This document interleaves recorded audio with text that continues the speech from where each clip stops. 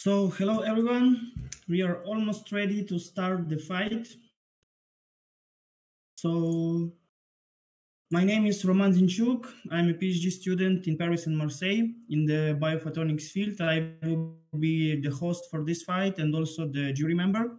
So, let's uh, first check and present the teams which will play today with us. So, the first team is Team Limitless. Are you present here?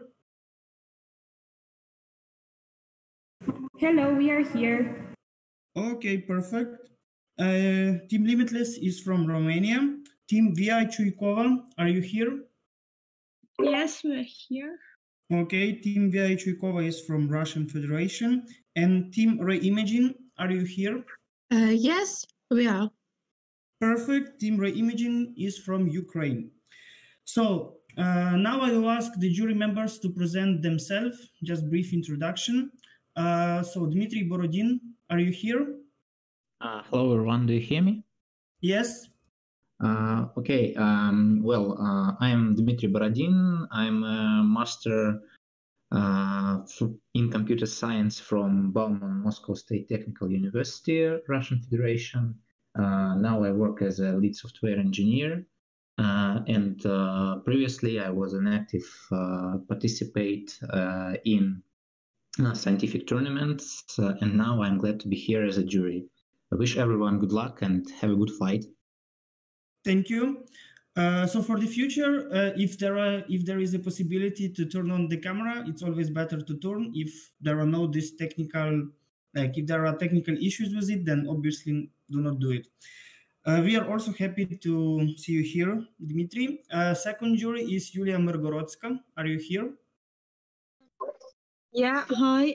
Uh, I still haven't figured out how to switch on cameras, so. So there, there, there are um, a button which called video, and when you click on it, it will switch it on. Okay, yeah. I mean, I look terrible. I just woke up. Um, yeah, hi guys.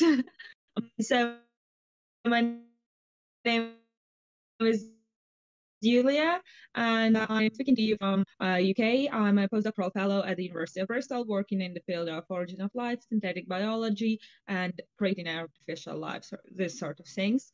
So I will be looking forward to your presentations and your fights today. Mm, see ya. Thank you. How we are also happy. Uh, just wait a second. Uh, uh, yeah, just okay. click on the same button. It will it will switch it. Oh my god. Uh, yeah. Okay. The third jury member is Valeria Lukashenko. Are you here? Yes, yes. Sorry, I unmuted myself, muted myself, couldn't unmute myself for a while. Hello, everyone. I'm Valeria Lukashenko, and I'm talking to you from Amsterdam, Netherlands. I'm a PhD student here in the field of particle physics, working in the Netherlands uh, Institute for Subatomic Physics. And my main research is connected with CERN, which is this big uh, research lab in Switzerland that hosts the Large Hadron Collider you probably heard of at some point. So I also participated in my times in this kind of tournaments. So I wish you all the best and all the luck today in your fights. Thanks. Thank you, Valeria. The next jury member is Victoria Huren. Are you here? Hello. Yes, I'm here. I'm glad to see you again. So my name is Victoria and I'm a master's student at the Max Planck School for Molecular Biology in Göttingen, Germany. Uh, I was also a um, participant myself in the past and now I'm a jury and I'm um, really glad to have this opportunity and I'm really expecting and waiting for juicy fights and discussions, fruitful discussions, which lead somewhere. Um, yeah, good luck to everyone. And maybe, yeah. yeah.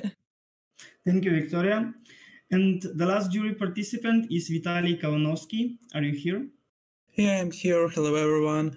My name is Vitaly Kalinovsky. I'm assistant professor at Taras Shevchenko National University of Kiev. Basically, I specialize in cell biology and related stuff. And I hope today you'll receive a lot of joy, at least, and fun. Yeah, I hope also. And I will be the last You remember, As I said, I'm PhD student in field of biophotonics. but I'm a physicist, so I'm not very good in biology for now. Excuse me, uh, I have a note. So can we make like a common screenshot and switch Yeah, so on? uh, I uh, will, I will just planning to do it now. So in order to Sure. have some memory from the tournament, I will ask to for everyone who can turn on the camera to turn it on so we can make a screenshot just for the purpose of I don't know tournament history. Yeah, so everyone who can turn on the camera, please do it. Oh, so you are all in one place. That's perfect. we will not tell anyone about distance rules.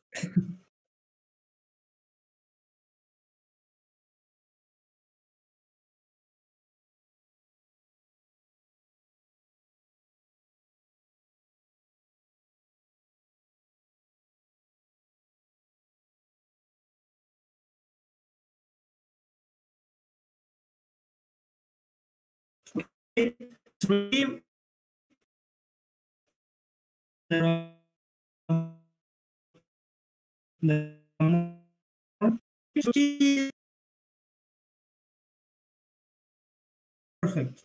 Thank you. You can switch them off. And let's start with the captain competition in order to determine the order of which you will present your solutions today. So uh, in order to, to choose this, I'm asking the captains of all the teams in 15 seconds to answer me a question and the answer will be just a single number and the ones who will be closer in logarithmic scale there will they will be the winner of the competition so i will uh, say the question and then i will duplicate it to the text channel in order for you if you don't hear me well or something you can check it. And as i said you will have only 15 seconds. If i receive answers after 15 seconds it means that you lost basically. So the question is uh, from our sponsor Enamine company. And the question is how many compounds are in the chemical space of Enamine company so-called real space note that Enamine is a ukrainian chemical company with the largest and the most diversity screening library. Time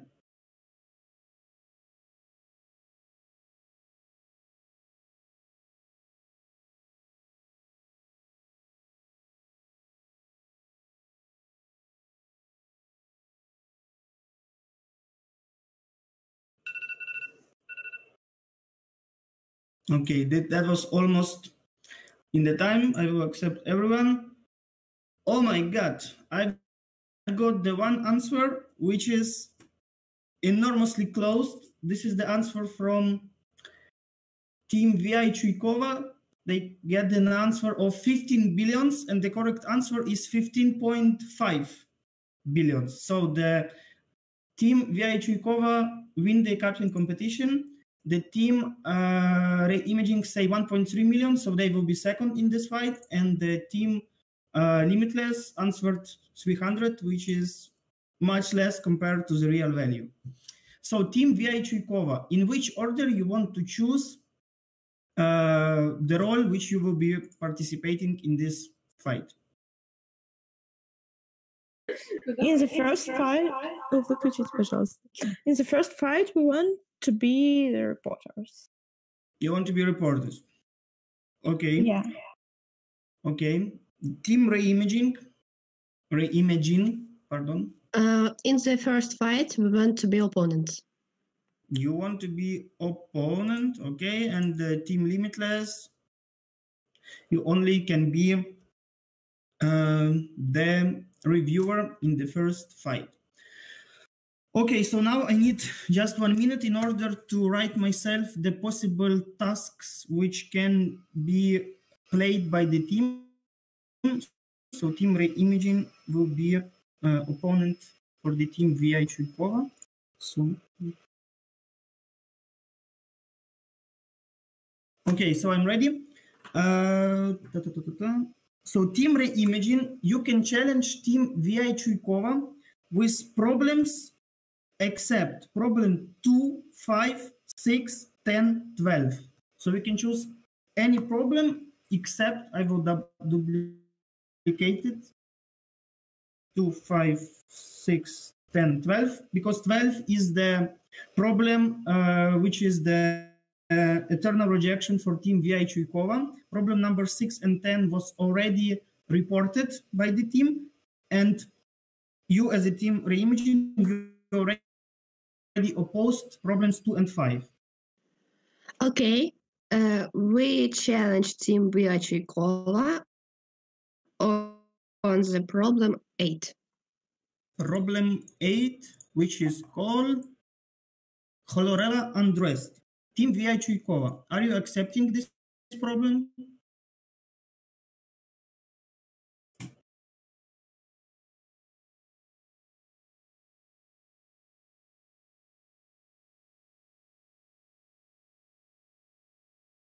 Uh, we would like to take a tactical rejection on that test. Tactical rejection. No problems. So, next challenging. Okay, we challenge Team Vyachikova on the problem 11. Problem 11 spellivery. Yeah. Yes.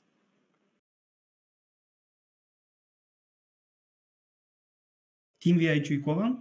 Uh, we would like to take a tactical rejection on this ta- task too. Okay.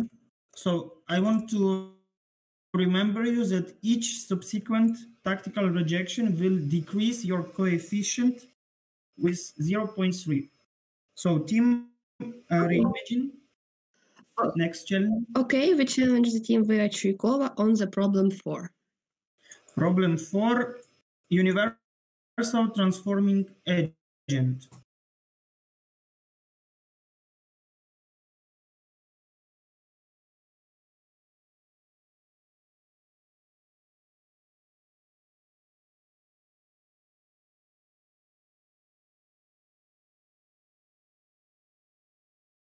A tactical rejection.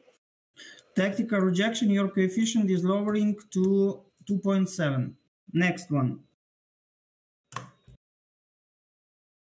Uh, one second. Uh, Sure.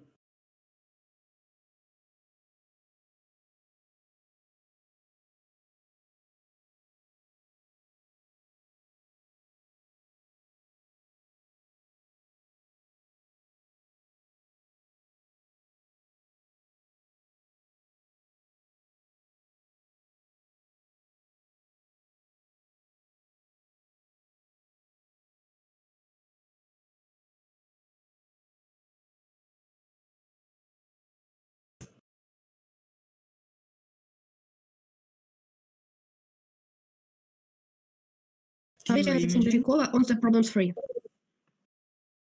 Problem 3, 9 out of 10 dentist. Tactical rejection. Coefficient is lowering to 2.4. Next one.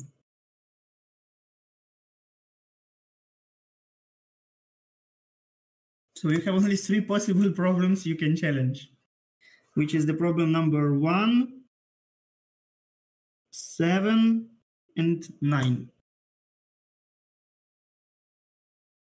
Uh, we've already reported task number one, so I think that technically you can't challenge us on this task. No, no, that's uh, what? Sorry. Uh, yesterday we already reported on the task number one, so Task technically you number one. number one smartphone apps. Mm, Yeah, that I was think- our first fight.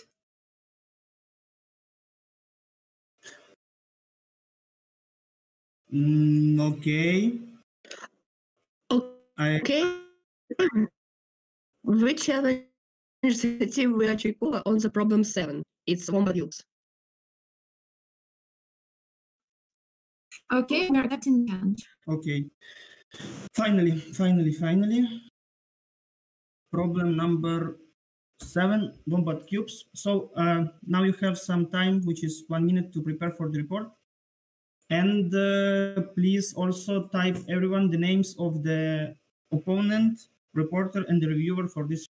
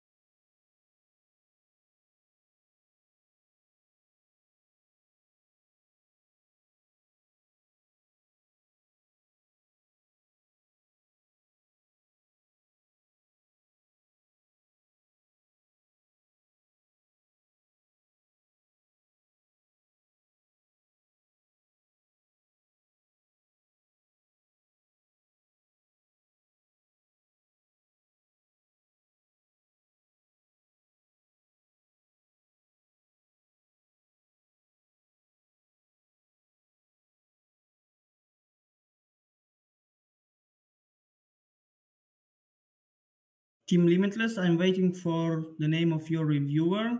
And also Team VI Chuikova, please start the presentation.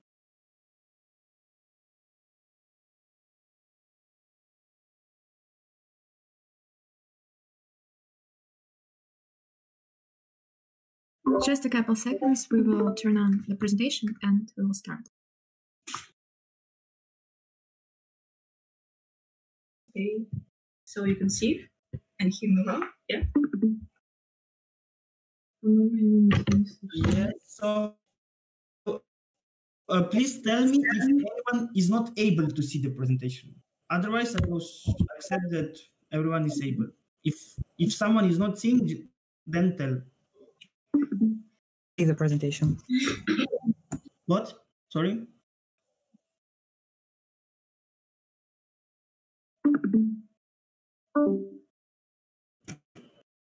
Okay, seems that everyone is able to see the presentation. I still have like. We're not able to see the presentation. Okay, then tell me when you will be able to see it.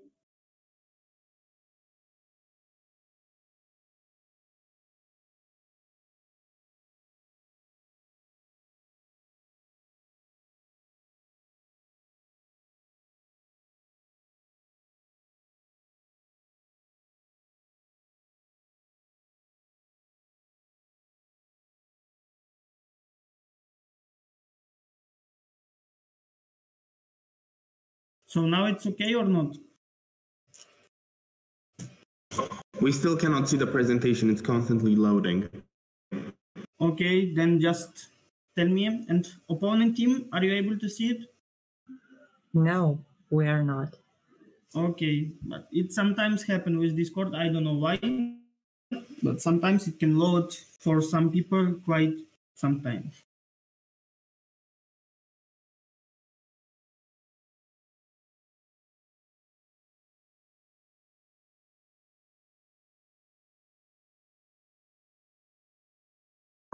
I can see it now. It finally. We can see it as well. Okay, so we can start. Yes, right? your 10 minutes is starting now, please.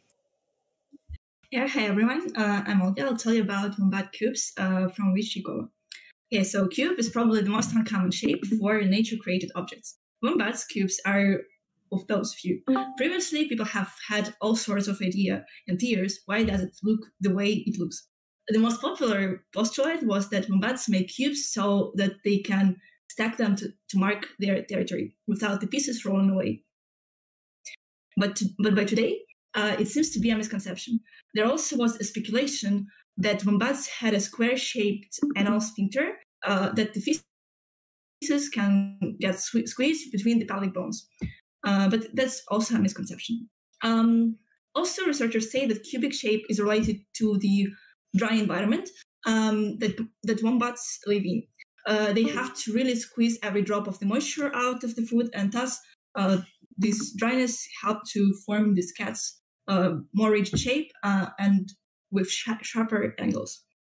Um, as the food digest- dig- is digested through the um, gut, the pressure from the intestine helps to stop the fish pieces, uh, meaning that the shape of the, the intestine will affect the shape of the dropping.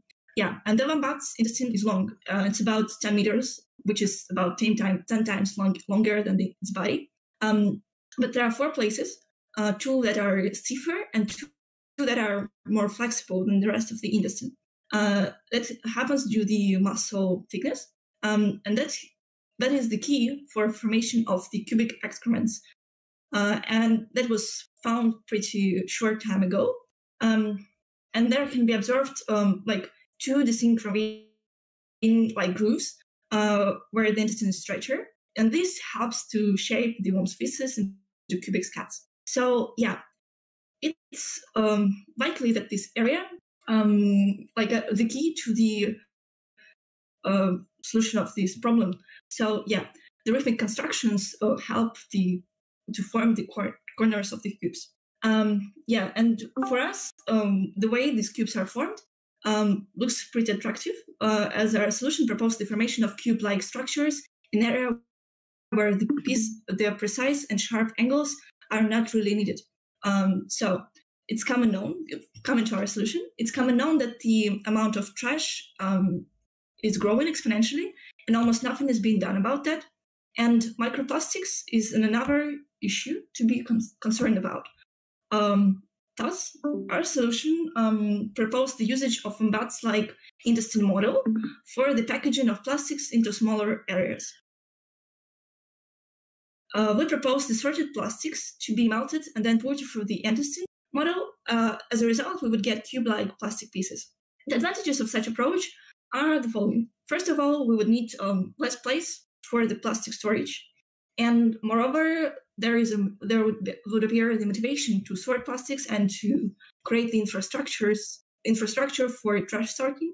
And also, um, there would be there is no need to cut the solid material to form cubes like it would be would happen other way so less space needed uh, and also um, less micro- microplastics would be formed as the overall surface of the um, like um, the trash is much smaller due to the form of the cube uh, so um, also there is a potential there, there can be a, lot of potential ways you can use these bricks um, somewhere in your in our lives. For example, uh, we propose to use such bricks to form roads. Like uh, we can perform bricks made from plastics, as, as and as we know, uh, plastics don't degrade uh, for a very long times. Like it can serve for thousands, hundreds of years, uh, and thus uh, probably we can do like roads from bricks from plastics. Um, yeah, which would have a pretty long shelf life.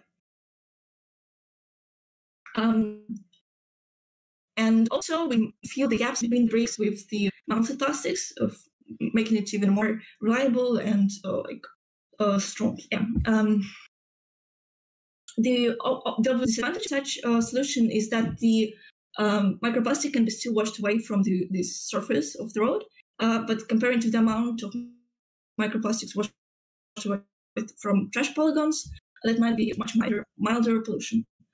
So yeah, our solution proposed the usage of um, synthesis model for attacking trash, trash to something needed. For example, brick for yeah, that's what I wanted to say. Thank uh, you for attention. Thank you.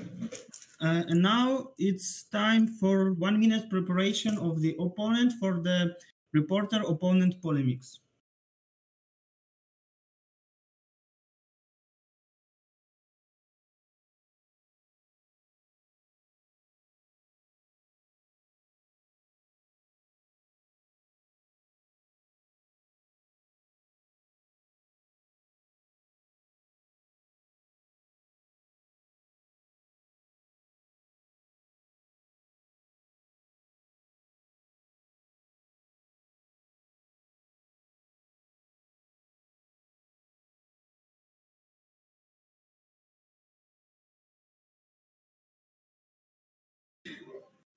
Okay, I'm ready for opposition. Uh, it's not opposition now. It will Oh, be ten minutes of polemics, polemic. sorry. Yes, and they are starting now. If you can turn on the camera, it will be good. Please. Okay. My name is Makita. I represent Team Reimagine. And uh, the first question to the reporter is Can you please detailedly describe how do wombats do their cubes? Because on your slides, it was I was unable to see how exactly it made. Well, the, mass itself goes through the intestine, intestine uh, and there are like two places which have uh, like another stress stress of the muscles, uh, and there um, some uh, angles are being formed while squeezing through these uh, more soft and more like tight places of the intestine. hmm Thank you for your answers. And uh, uh, the cubes that they form, are they cubical or they are some kind of curvy? How do you think? Well, they are not absolutely cubic. Of course, they have kind of mild, mild, mild, mild milder angles than the perfect cube, uh, but they are still cube-like. And also it depends on the, the uh, food the animal eats and uh, on the um, mm, the amount of water is uh, available to this animal and also to the uh, environment itself. Yeah. Mm-hmm. Thank you. And you said that you can kind of order the plastic trash uh, to the cubical forms. And have you considered any industrial problems that it can occur? Well, of course, the biggest problem is to find uh, like um, people who would like to sort plastic. Like um, most people are not concerned about this problem, uh, and even though there are a lot of trash bins uh, with plastic sorting, there are still some additives which are not which, which are not able to be used in this process. Thus, uh, it makes might spoil the uh, whole mass. Like ju- just one inappropriate bottle can spoil like tons of uh, plastics done for the cycling or recycling. Um, but still, that's an area where some res- results are being are, are, are being achieved uh, in some countries. Plus, I think it's a pretty uh, perspective thing. Um, well, other things. Um, uh, I would think that Mm, some something uh, like residues of the food on the plastics might might also spoil the quality. But if Mhm. we it's pretty high, uh, then uh, it might be it might burn. So that there there probably be additives of like carbon, um, and some gases would uh, would fly out of this production, and there also will be need uh, to somehow uh, uh, use them or like not, not go, go, letting them out in the environment. Yeah. Mhm. I see your point and continue the question. How do you consider to use this technology in industry? Just you cannot use your wombat to make some plastic cubes. Yes, uh, I meant that we would make uh, we can make a model of this industry. Like it would um, we would first uh, get the old trash or trash which has already been sorted by the citizens of the place where we live. Uh, then we get the pure plastic, which is which is mm, like, good for building roads and so on. Then we melt it, uh, and then we like it into the model of the Wombat industry, uh, not the live moment, uh, and so that the these cubes are being formed. They're not perfect, uh, but that's pretty appropriate for making some roads. Like not Mhm. perfect, but yeah, still. Okay, I see your point again. And uh, the next question is about the plastic used. Is every plastic compatible for using in your technology? Yes, of course not. Uh, and there are pretty different types of plastics. And moreover, as now people are more concerned about plastics, uh, a lot of biodegradable uh, opportunities are appearing. And they are, of course, and that is a big, big problem actually, because uh, biodegradable means just uh, faster but degrade, degrade, degrading into microparticles. And thus, it would mean that the faster the roads would spoil after when if such microplastic such plastic would be added to the whole mass. Uh, thus, yeah, some concern and information of these citizens is absolutely needed for people to know which plastic is uh, good for recycling and which is not. Mm-hmm. And have you considered any parameters of plastic that are preferred for your technology? For example, viscosity at any temperature, because you said that you use only melted plastic to make cubes.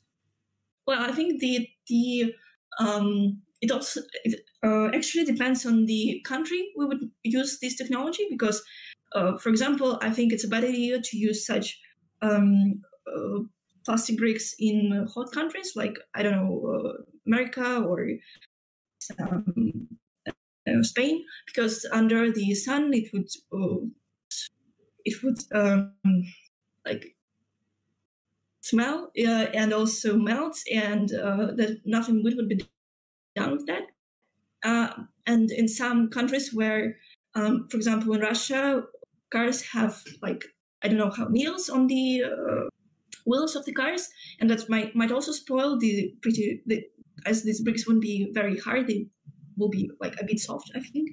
Uh, that also might spoil the coverage of the road. Uh, thus, some um, intermediate uh, level of the climate is needed. Um, somewhere in Europe, probably it would work well. Um, so, yeah. Thank you for the answer. And the next question is about your road. You can switch your slide to the 16, please.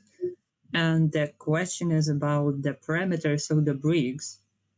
Are Mhm. they counted or not? Counted? What do you mean by it? Uh, I mean, have you considered any parameters of these bricks used for the road? Uh, Okay, uh, well, um, as the intestine model would produce like cubic-like uh, bricks. Yeah, I, I did a mistake. I, I I draw some very long long cubes. Yeah, that would be just cubes. So that'd probably be the roads for uh, like people people going somewhere in parks probably because yeah, I think the quality of the road would be would not be appropriate for cars uh, usage. Uh, yeah, so yeah. mhm. Thank you for your answer, but I was asking about That's have you cons- I was asking about have you counted the parameters of the bricks that are made for production these kind of roads? Um, you mean the uh, like? Yeah, I, I- see your point. Well, um,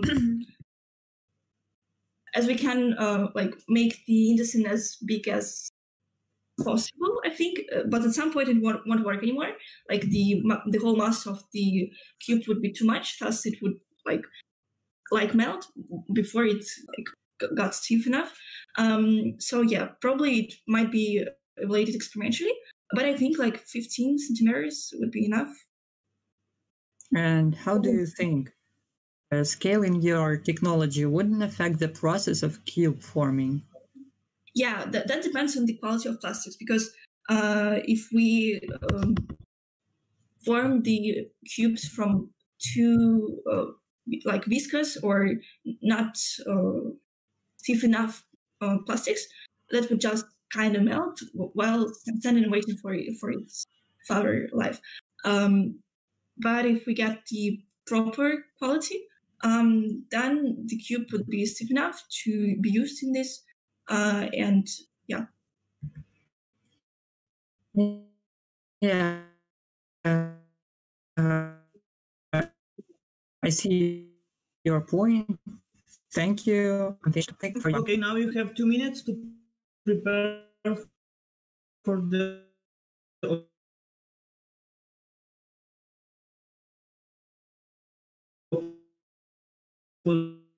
position.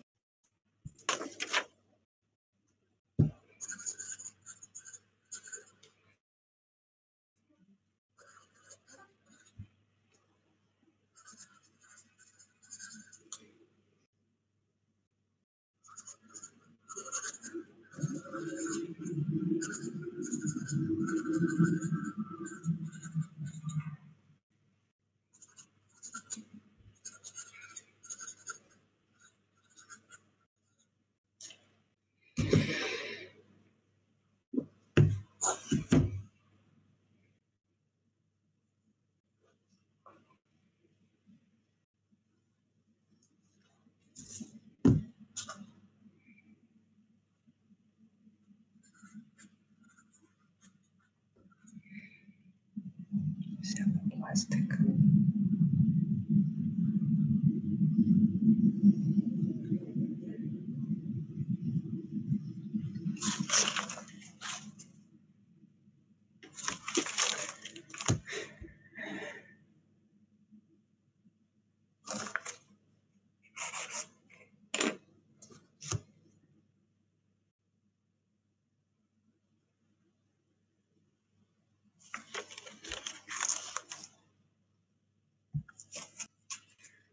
I think I'm ready for a position right now. Okay, dear reporter, are you here? Can you hear us?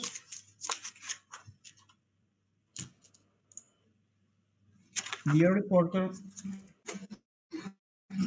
Yes, we can hear everything. Okay, perfect. Then you have your five minutes for the opposition. please. Okay, so firstly, I thank reporter for such a great presentation. There were a lot of pictures, uh, and I think it was kind of bland from the point of theory used in this material. So I think you could make a lot of theoretical review uh, regarding all, all the problems of formation cubes by wombats. And the next point about my about the presentation of the presenter is a not clear uh, picture of the technology used because we hadn't got any technology proposed in this presentation, but that task was about this technology, which is kind of a pity right now. Uh, so the next point is about references. We don't know what the references used in this work because I haven't got uh, a complete list of the references for this work. And uh, the concept of the route uh, was not overworked because the parameters of cubes is not considered as well as parameters of the plastic used for the technology is not considered. So,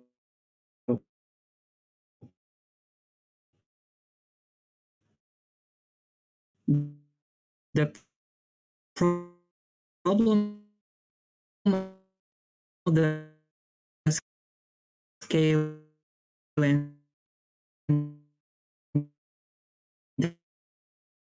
the experiment do if I look at an experimental I can say the presentation of the reason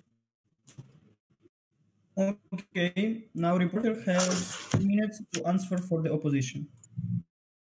Okay, well, first of all, I would like to thank for the opposition.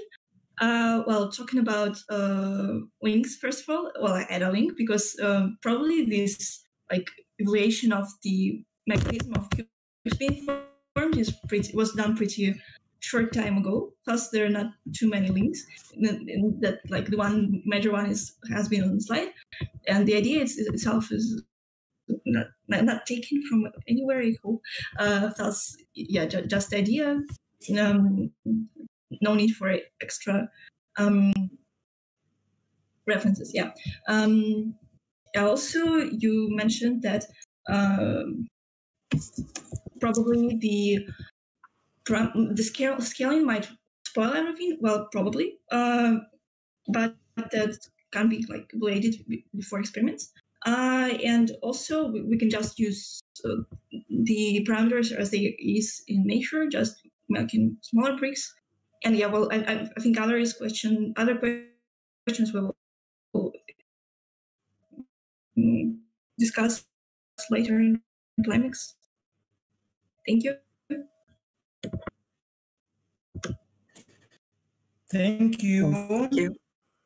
Now it's time for preparation of the review.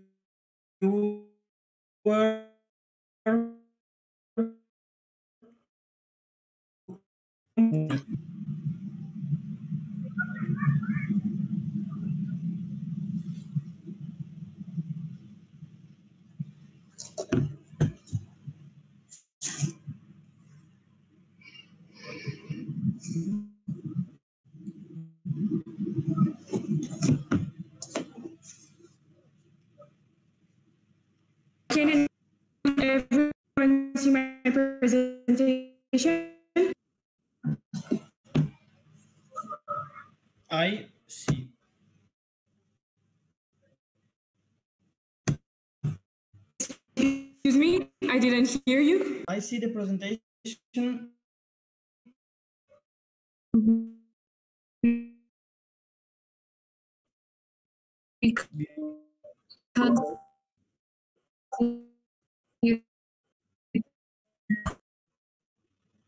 Yeah, tell me when will be loaded for you.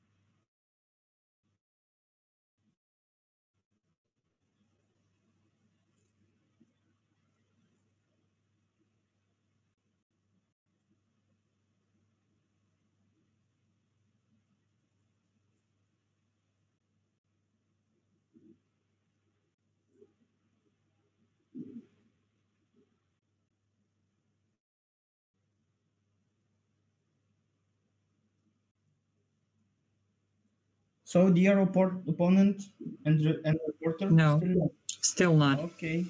I'm gonna try again. If that's No, no, no, no, no, no, no, no, don't, don't do it. It will Oh be yeah. Now I can see. okay. Yeah, we can't see. Uh, reporter, is it okay for you? Uh, yes, everything is all right. We can see. Okay, then, uh, dear reviewer, you have four minutes for reviewing, please. Okay, so hello everyone. My name is Nicola Mara, and today I'm going to be reviewing problem number seven. Uh, one moment, because it's not. Okay. Uh, so for the reporter summary, some pros and advantages. Uh, visual aids helped us understand the problem at hand. It was really helpful to see uh, the intestine and where the cubes were formed. Uh, a relatively good theoretical model was shown. Uh, I also like the hypothesis uh, that was presented with the anus and pelvic bones uh, that were not uh, that were explained that they were not right, and it was actually uh, due to the intestine. However, no climate we believe no climate considerations pertaining uh, the aspects. So that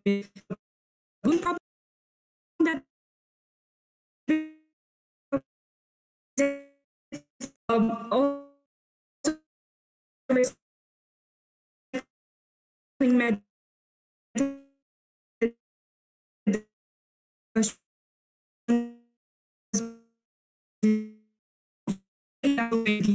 cost or some other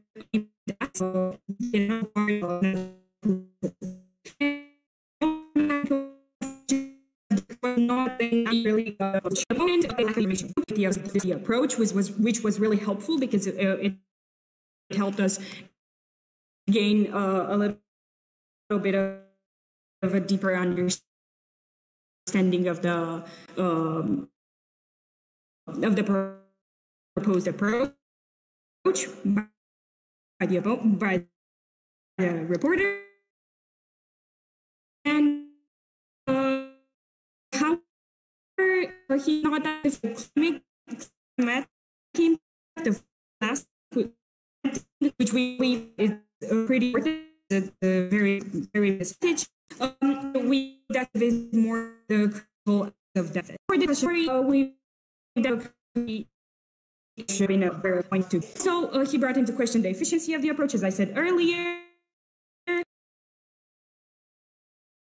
Uh, uh, and most importantly important to bring up uh, is that uh, the reporter should should look in the gases released when plastic is melted because again as i said uh, a lot of pollution is involved in this process uh, we also recommend uh, to look into a bit more deeper into the formation of cubes because that might have helped uh, uh bringing or proposing a more detailed approach uh, with the technical and industrial part of this. And we uh, also uh, we uh, expected and we suggest if there could be some sort of comparison be- between the proposed approach and some existing method of plastic recycling. And for the so as an example, molding that I would like to discuss later in the polemic.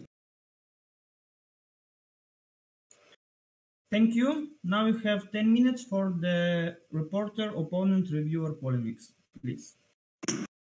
Okay, so uh, first of all, I have a question for the reporter. Uh, you talked about the advantages uh, of your uh, of your approach. Uh, could you please uh, tell me a little bit more about the disadvantages of this? What might be, which might be the limitations for for what you propose?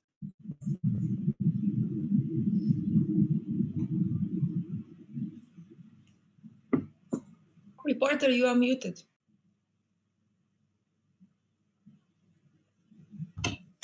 Is everything all right now? Yes, we can hear you. Yes. Yeah. Thank you. Thank you.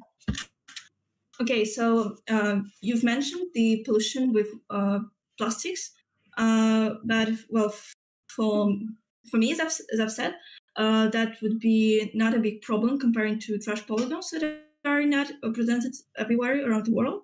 So that we would even uh, the, the the amount of plastics being released.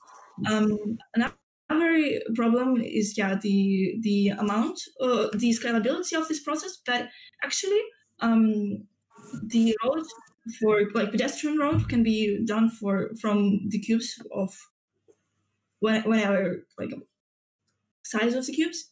Uh, so there probably won't be there probably will no need to scale that too much, uh, so that the physical aspect would be pretty same as uh, probably these um, cubes won't one kind of melt before they get stiff enough. Um, yeah, amongst other um, disadvantages.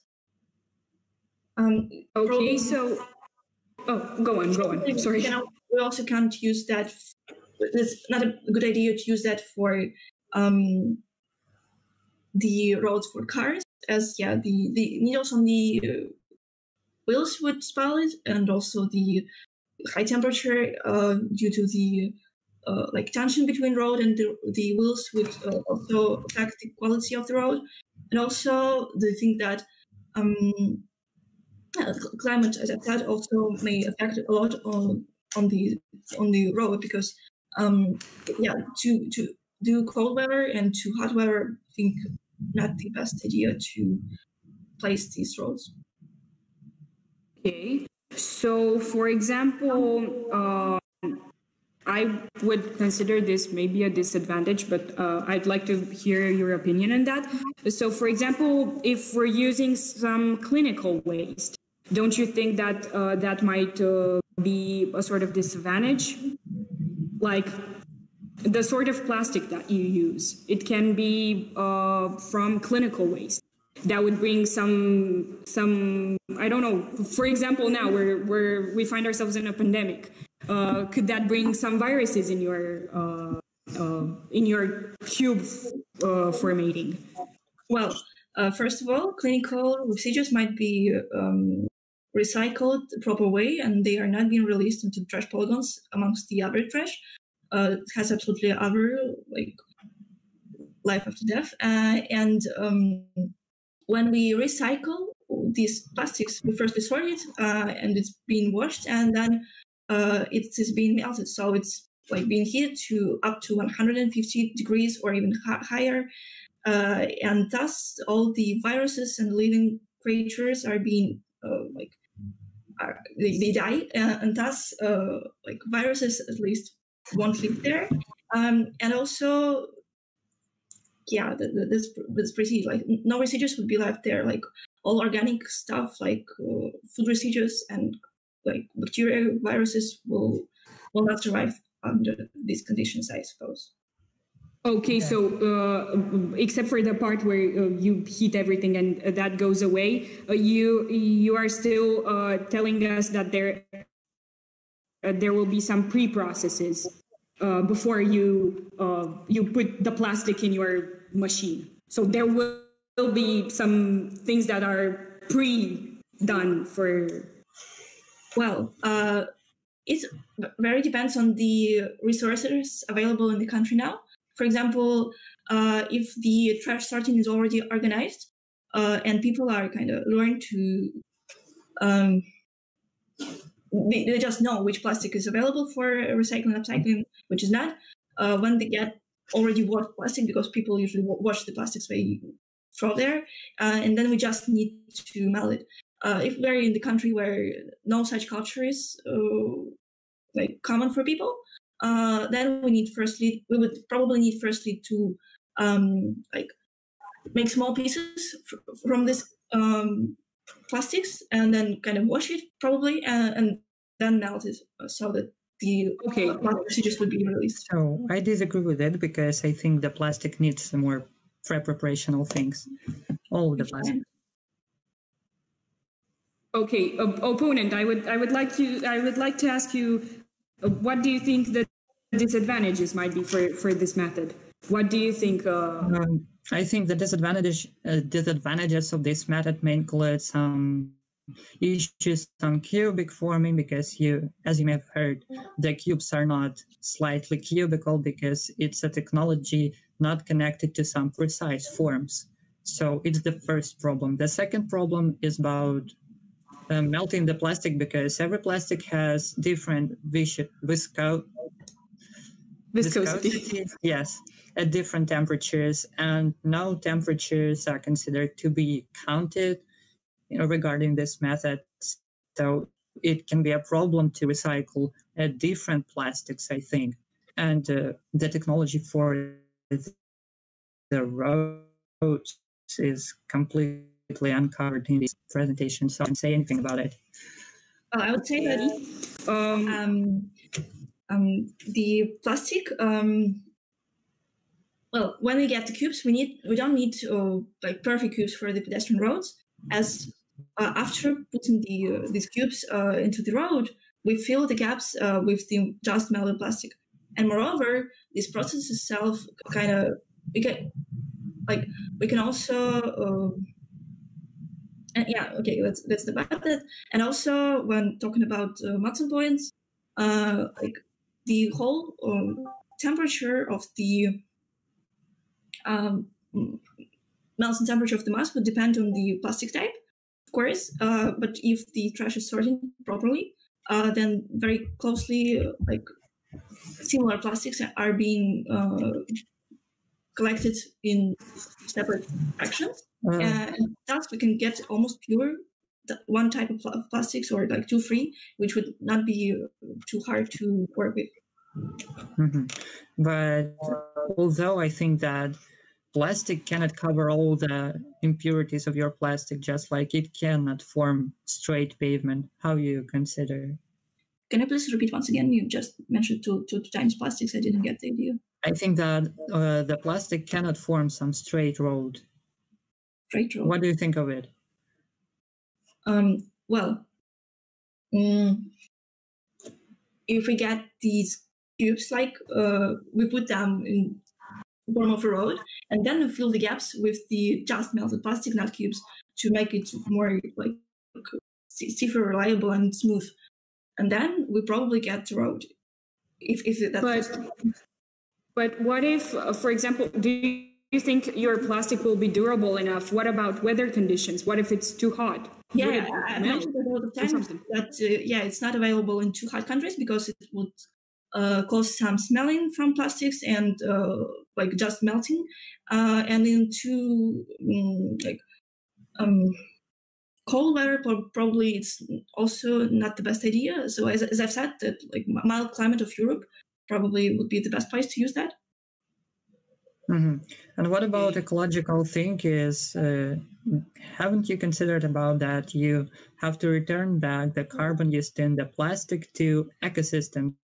And would it endure this ecosystem if the plastic is used in this way? Well, as we know, uh, the humanity uses a lot of plastic, and the amount of plastic being recycled is that small that uh, like almost nothing compared to the plastic being used, and all that is lying on the polygons, and like only the source of impurities and smell and like problems with ecology. Um, and I propose the solution for that problem, like partial solution, to use these plastics to do roads, and these roads, like as they are cubic ones, uh, the amount of microplastics washed away from the surface of these cubes would be much smaller than the amount of plastics, microplastics being washed from the polygons, as there the surface is much higher, and thus uh, the amount of microplastics washed away is much higher, and thus the ecology is being uh, purif- or not purified by it. Okay, and this Well, much more. I need to stop you. The time for the suicide polemics has just passed. Before we will continue with the closing remarks by the reporter, I would like to ask the juries if you will have some questions for the participants, just type plus in the text channel, so I will be able to give you words in the correct order. Okay, and uh, now the reporter, you have one minute for closing remarks, please. So, so now it's time for my closing remarks. Yeah? Yes, one minute. No? Yeah, okay. Uh, well, thank you both reporter and uh, both opposer and reviewer for their uh, conversation and some remarks about uh, like uh, details might be better in my solution. Uh, well, I think uh, one more thing I haven't said that um, the my solution also like gives the ability not to use extra oil, to use less oil for uh, the road road formation, as we would uh, upcycle the things already being used by people and being like thrown away to the polygons uh, to create something new, like roads. Uh, thus, the carbon issue is even like it, it, it's even getting better uh, with this. Um, yeah, I think we've discussed a lot of things. Uh, was pretty Thank you for your questions. Yeah. Thank you. And now it's time to for the questions from the jury. And the first question from Vitaly Kalanovsky, please. Okay, my question will be to the reporter. Uh, the problem is a task was not about just invention, but also about comparison. You should have compared your method with already exist existing technologies. For example, there are technologies to produce roads from plastic. There are technologies to process plastic in many ways. And for example, if you melt your plastic, it would be easier just to fill some pre-existing form to give you plastic any shape. Why do we need to use your Wombat simulator for this plastic? Uh, well, uh, talking about uh, already existing methods for roads for like creating roads. Well, for that we need to kind of um, use oil, as I've said, uh, and that's uh, cause a lot of pollution to the nature. Uh, and thus, uh, I propose just use what's available at, and what's lying on the polygons for years, uh, like useless and spoiling the nature. Uh, Excuse me, but there is a road from plastic has had already been made from plastic, recycled plastic. Ah, okay. Um, well, uh, I think the roads uh, the have been made from plastics. Uh, okay, the idea of uh, the reviewer, I think, uh, already also as well not molding it, but uh, using the Wombat model. Well, um, yeah, the, the task was to uh, invent the like the way we can use this Wombat model.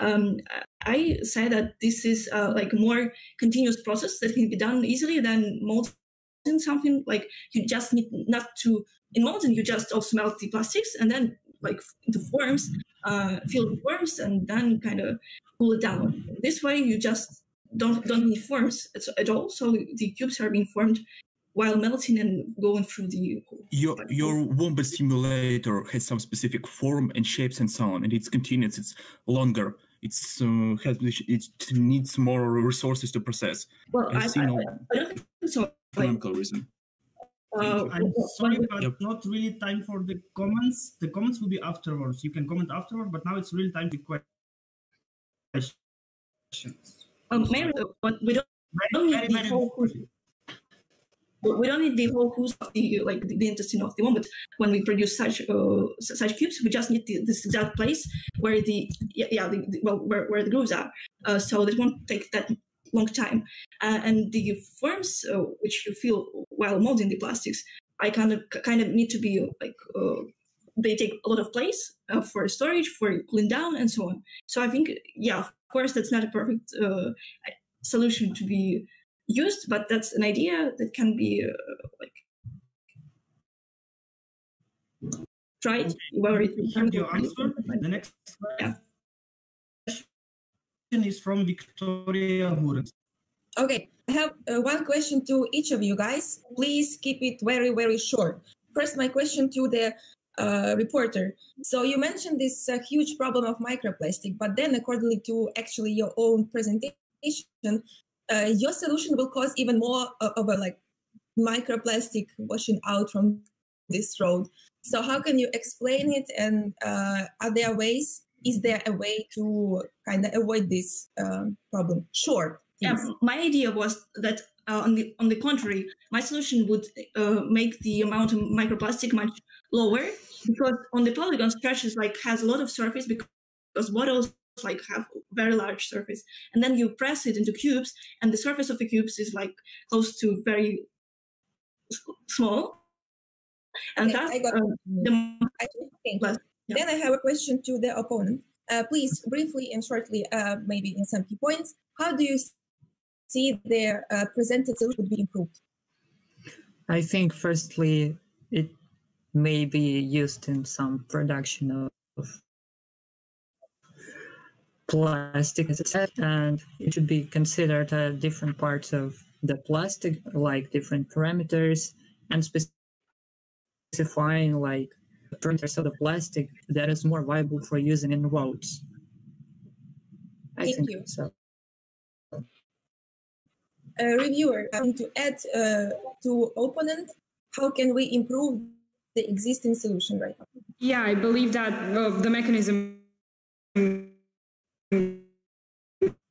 could have been explored, but My question is not about presentation itself, but about method. So we are melting and making cubes, maybe some other steps which we should add to that. Uh, for example, I believe that there there is going to be a lot of energy involved in this. So maybe something, some solar powered energy or something like that could be brought to this. Thanks.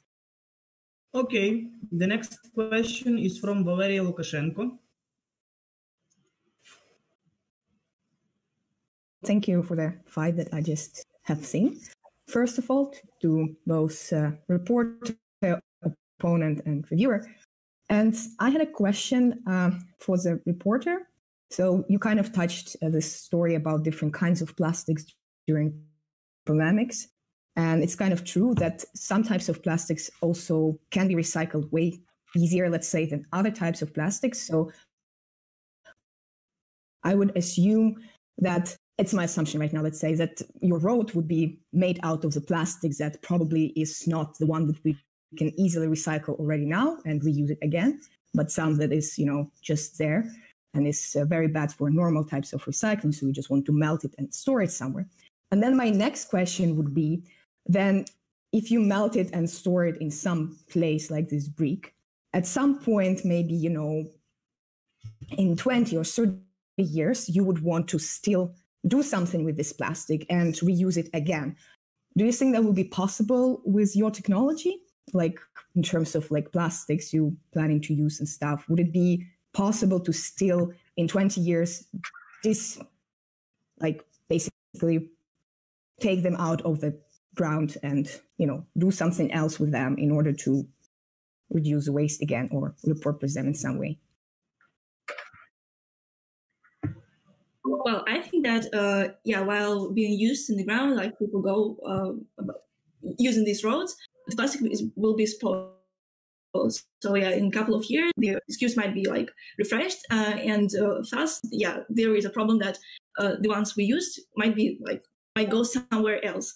Uh, first of all, they at least will take uh, like a smaller place than the plastics in the origin, and the second point is that uh, probably. I'm not sure how would this uh, whole system like um, behave behave in like thousands dozens dozens of years but uh, probably we can just remelt it again uh, so that the spoiled organics would again like become carbon or like fly, fly away uh, and the uh, still available and good stuff would be just formed will just be used the same way once again probably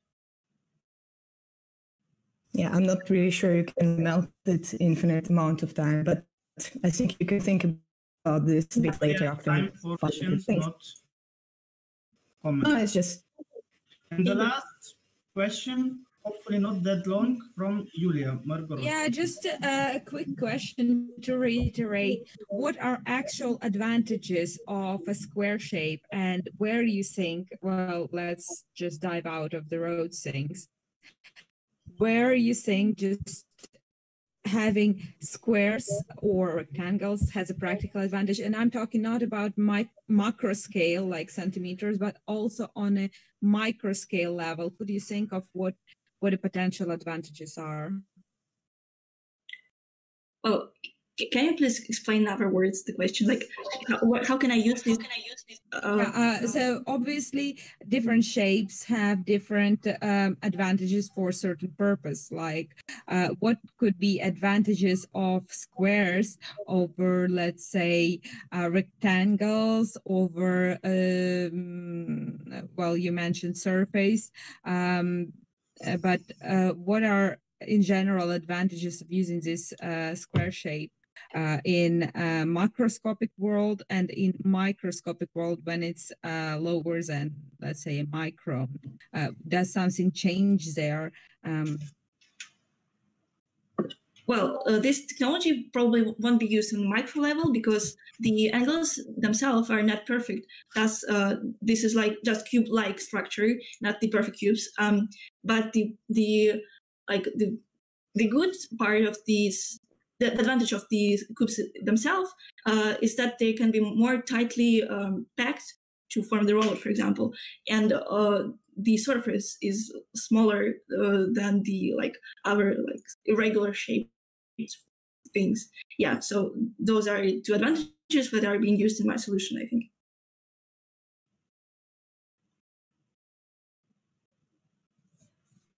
okay yeah Thank you. Thank you for your answers.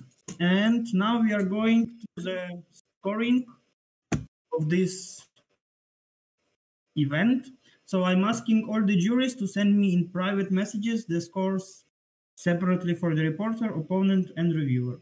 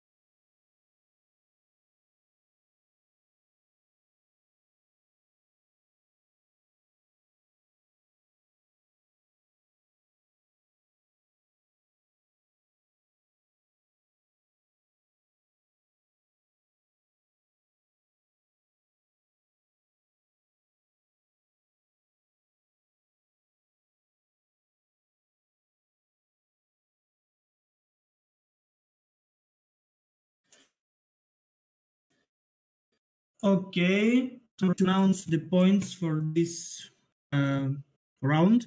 So the points for the reporter: four, four, three, three, four, four. Pretty close. The points for the opponent: seven, six, six, seven, six, seven, and the points for the reviewer: eight, eight six, ten, eight, eight. So if there are any juries who wants to comment on this section, now it's time for this, please. I would like just maybe a small note that basically the task that was chosen had not been solved. All the process that we have mentioned, it was just about the thing in itself without any, any comparison, any chemical rules. It just, don't know, it's just like it makes some pro-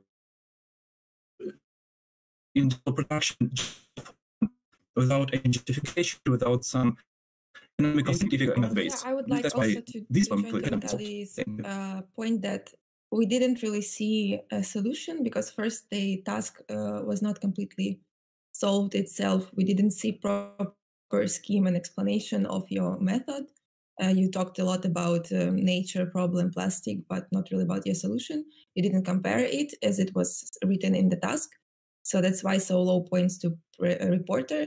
And I also would say that for um, opponent and uh, reviewer, your questions were very smart, and you also like uh, it led to a lot of explanations and justifications from the uh, reporter, and maybe you should have also spoken a little bit more um, and not just given like so much of time to answer your questions. But also the problem was that it was just you know like uh, the game of question and answer. Uh, and you, so why I asked you like how is it possible to improve existing solution?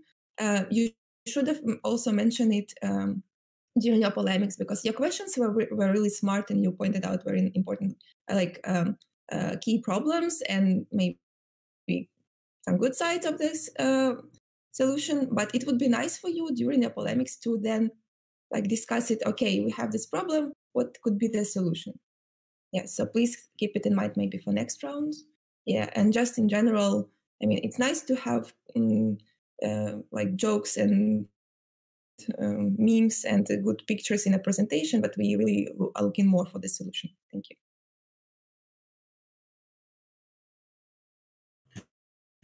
Thank you. If there are no more comments, we are going straight forward to start the second round. Between second and third, we will make a small, small five minutes break. So in this round, uh, da, da, da, Team Limitless will be the opponent and Team Ray Imaging will be the reporter. So the problems which cannot be challenged is the problem number three, four, seven, and 12. All the others can be chosen.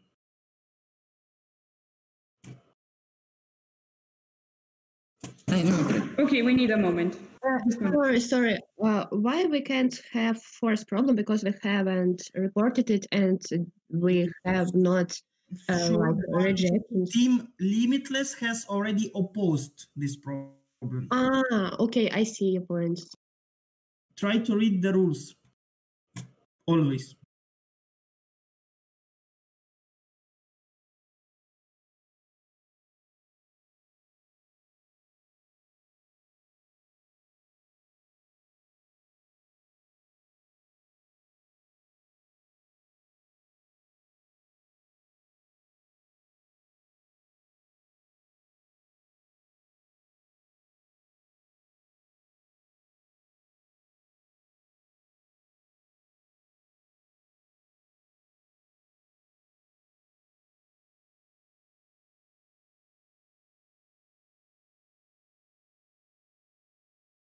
So Team Limitless, which problem you are challenging the Team Reimagine? We propose problem number five, two, two. Problem number five, two two, Team Reimagine.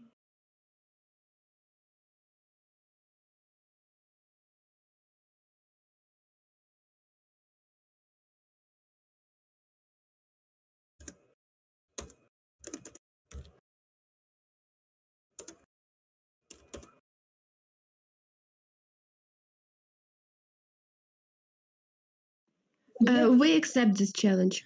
Okay. Okay. So the, pro- the it will be played the problem number five. Now it's the time for the preparation for the reporter, and also I'm asking to type the names of who will be the reporter, opponent, and the reviewer.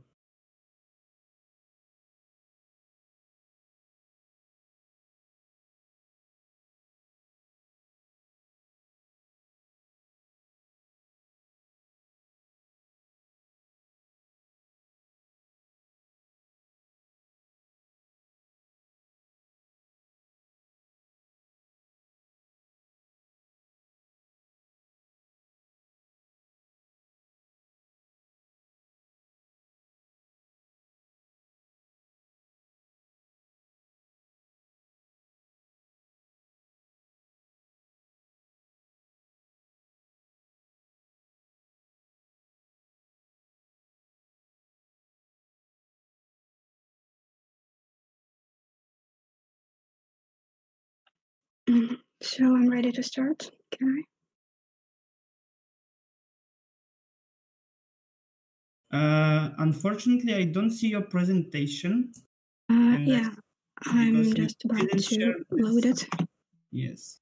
Uh, okay, so please, everyone, if you are able, if you are not able to see the presentation.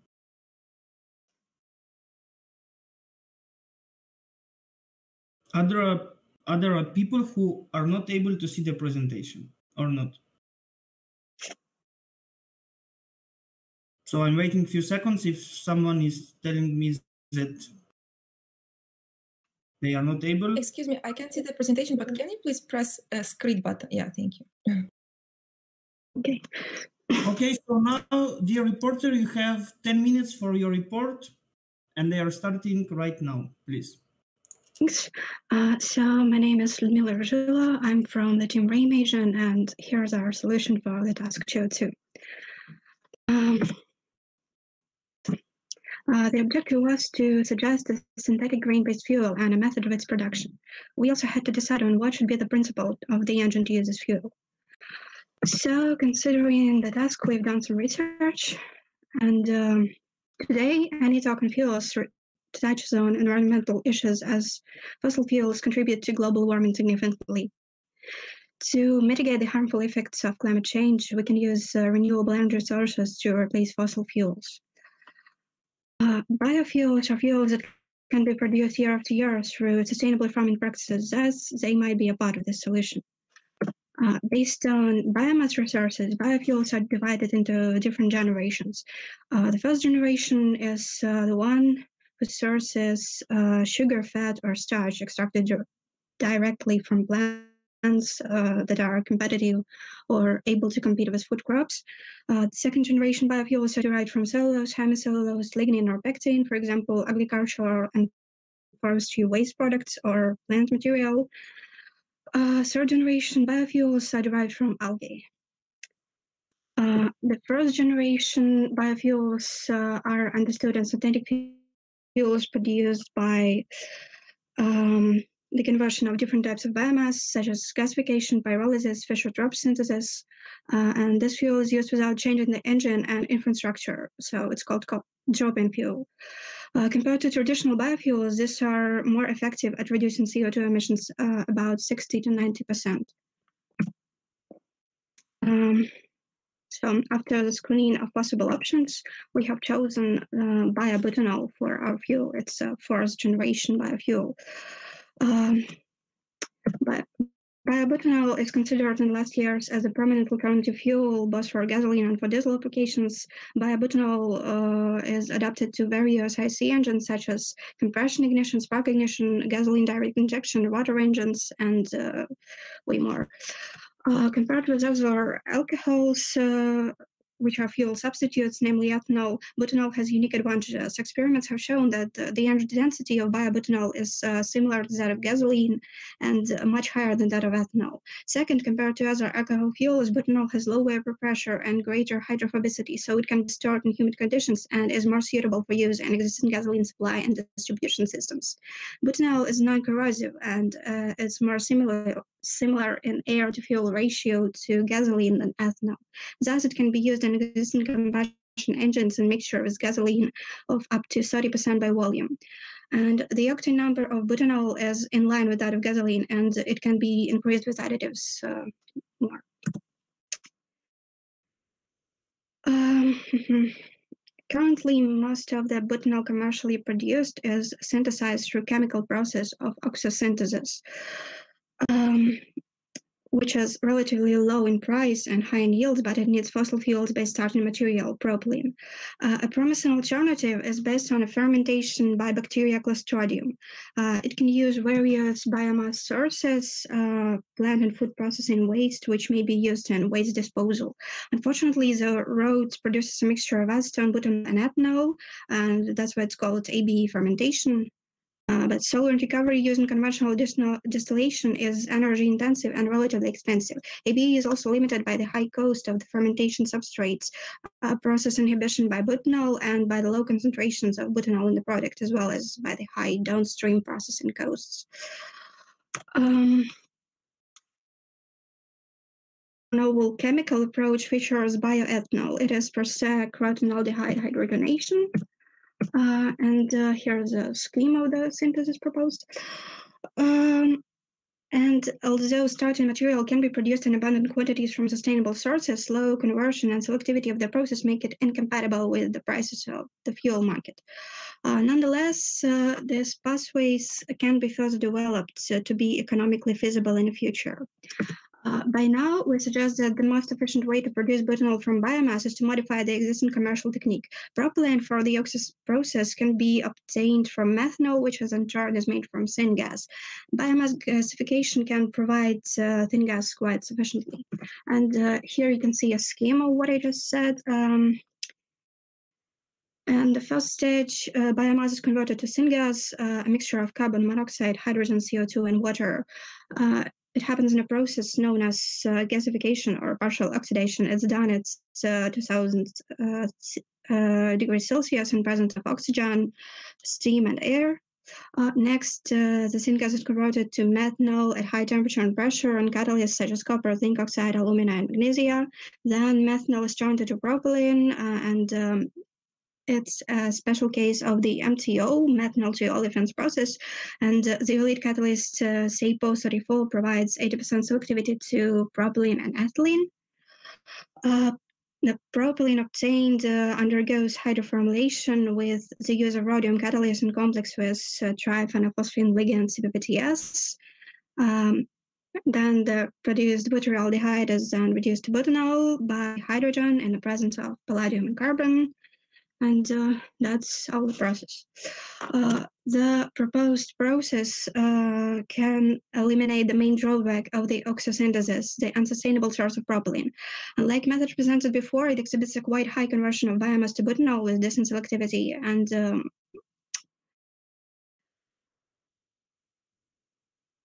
um, but it has some drawbacks. Uh, some problems may arise, um, such as hydrogen deficiency of biomass-derived syngas, which means that it may have to be enriched with hydrogen. Uh, and the cost of the final product is still higher than that of fossil fuels, which makes it less appealing. Um, as it was said, uh, butanol has a slightly smaller, smaller octane number than gasoline, and to increase uh, octane number, ferrocene might be added, as it is highly efficient and it does not change the volume of the resulting fuel. Um, the improvement of octane number can positively impact engine performance and durability. So uh, it's time for the conclusion suggested biobutanol as a fuel derived from renewable sources and review the advantages of its use. Uh, biobutanol may be used as an individual fuel with various types of uh, inner combustion engines with adjustments of air to fuel ratio and as a drop-in fuel without any modification. Um, uh, the proposed method of production was merely introduced by biomass-derived propylene into conventional oxo process, uh, and we also pointed out the drawbacks of such a decision. Um, here you can see uh, all the literature that was used uh, to prepare our solution. Thanks for your attention. I'm done with my presentation. Thank you. Now it's one minute for preparation for the reporter-opponent polemics.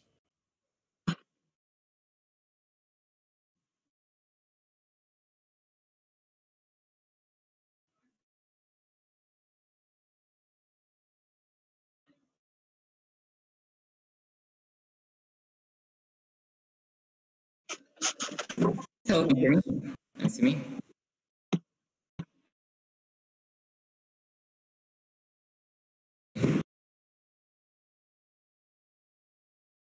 So, we can start the discussion.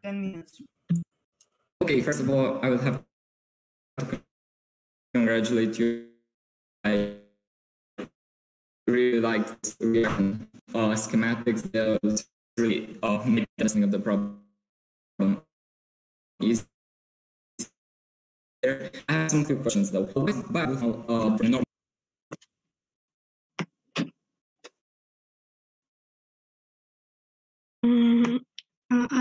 Has told something about uh, its uh, physical properties, which make it different.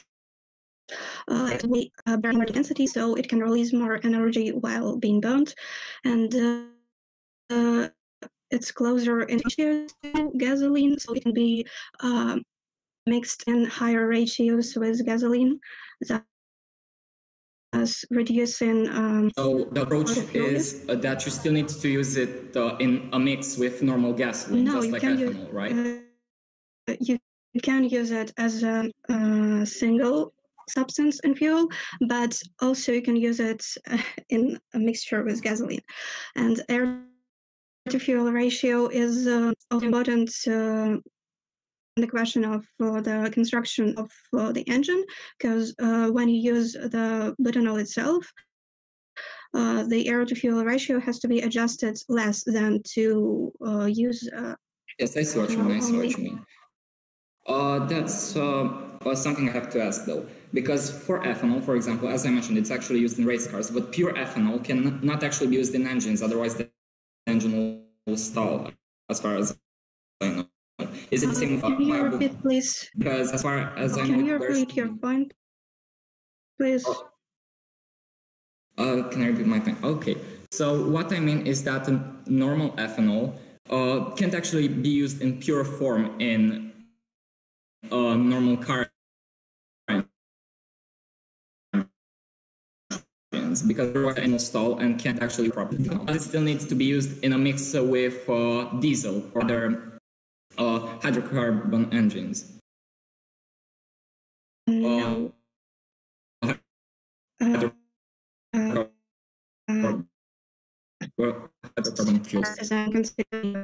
And why do you think that is? What makes it different from ethanol?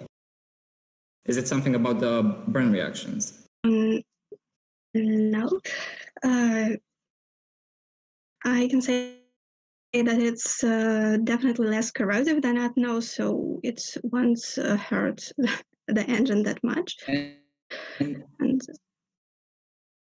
in this table, uh, where where is the octane number exactly? Is it RON? uh, yeah, how that's use it? research octane number. Okay, octane number. And uh, what do you think uh, is the actual uh, importance of the octanic number in real real life um, use? Because octanic number is something uh, very important to normal fuels. As you may know, most uh, cars uh, can function with really high octanic numbers. Actually, no car can function with really high octanic numbers because otherwise the engine will just explode. Right? Mm, yeah, And a true. real octanic number can actually yield to uh, a lot more emissions, as far as my knowledge concerns. But what do you think about the octanic number of bu- butanol? And Um, what would it be mixed with? To, because pure butanol has, in my opinion, really Um, high octane number. I think it'd be Pure butanol has uh, an octane number of about 96, uh, how it's stated in the table, uh, and um, it can be um, increased more with uh, the use of additives uh, such as uh, ferrocene, as I've said, uh, uh, or maybe. Uh, Um, yeah, but that's not uh, the, exactly what I mean. uh, the Because I'm not saying how you can increase it. Because in my opinion, uh, you mean it's in most car engines, uh, yes, because normally uh, in normal fuels, uh, the octanic number goes up to 100 because the octanic number is actually the ratio be- between isooctane and heptane molecules in the fuel. And octanic number means 100% isooctane, which is considered as uh, the most uh, energy uh, the most energy efficient burn reaction. So in my opinion, 96 for a lot of cars, for a lot of cars, um, would actually high. And how would you diminish that? Because uh, buying a new car would actually increase the carbon emissions way over uh, normal methods, and it, it wouldn't actually compensate for a biofuel base. Mhm, okay. Uh, you see what I mean? Um, mm, maybe it can be mixed with uh, some hydrocarbons with uh, long chains, so uh, the overall octane number will bit lower. But I I don't really think that's uh, the that such octane number uh, as butanol has may damage the engine. For most cars, it's actually really high. Uh, a lot of cars, at least here in Romania, still function on using 80 octane numbers. So it should be diminished by a little bit. With normal with normal diesel fuels, it's much easier because you actually get the lower octane numbers when you extract them and have to be enriched. So you can just uh, skip the enrichment process. But with butanol, I think you actually get a very uh, burnable solution, to uh, lack of a better word. Uh, yeah, moving from this point, I have to ask about uh, the engine approach.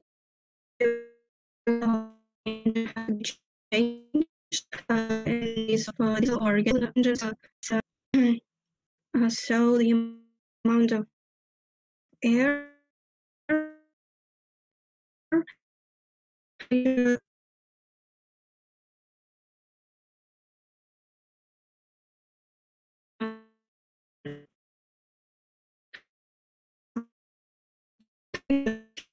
which uh,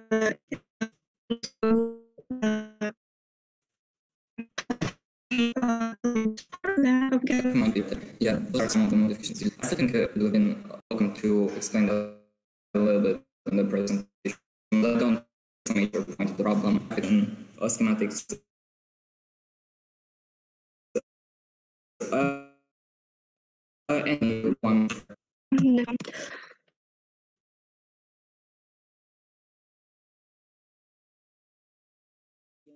Uh, reactions. Uh, did you approximate the yield of, of, of transformation, like the yield of the reactions, the total yield? From how much biomass you get, how much fuel, and do you quantity is justifiable? Did you make a comparison between the methods to see which produces more, which one is more expensive, or things like that? Um, it's really unfortunate. I wasn't able to find the exact yields of each stage of uh, this uh, uh, industrial methods because uh, they are for, a long time and on a big scale and research nowadays. Uh, but uh, I can uh, say for sure that for uh, this synthesis, uh, the yields are quite low uh, with uh, selectivity of 80% and uh, the overall um, yield of 20% uh, from the uh, starting ethanol. And with it's a caffeine uh, uh, uh, extending reaction. Those usually have pretty low yield because you can't actually control where the carbon goes or what it reacts with. That's why, why I was asking that as well. And you are right, the yield direction would be lower than most. Uh, can you uh, uh, get to the proposal two? Uh, right. So the first step of biomass turning into uh, synthesis gas monoxide. Uh, what that process? What do you mean by uh, those conditions? Uh, how would you uh, um, keep because from what I can tell, it's a burning reaction. Do you use uh, those uh, be dehydrated before it's burned? Otherwise, the burn reaction may uh, give you some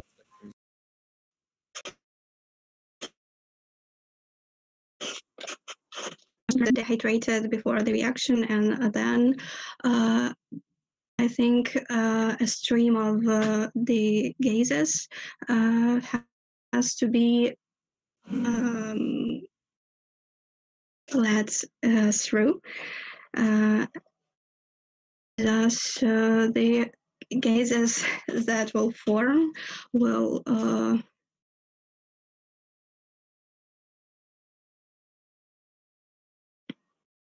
Finish off. Uh, yeah, so uh, I would have. Oh, okay. Thank you. Yes, I think I can I'll start preparing for my opposition. Thank you for the conversation. It was really helpful.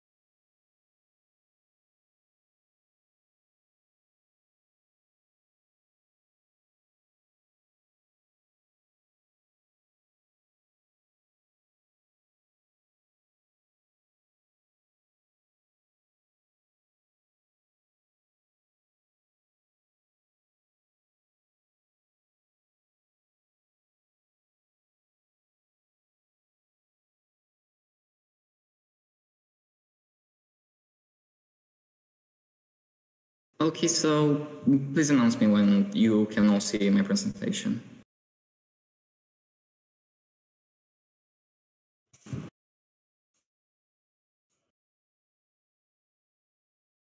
So me, I don't know, at least. So maybe there are also other people who don't see it. But we can wait. Do you see it's loading or not? that I see that loading. It's loading in cubic form. Yes, exactly. In the exactly in terms of wombats.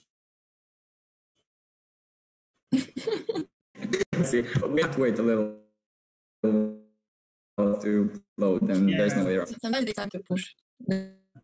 Yes, and Yeah. has to be yeah, that's true.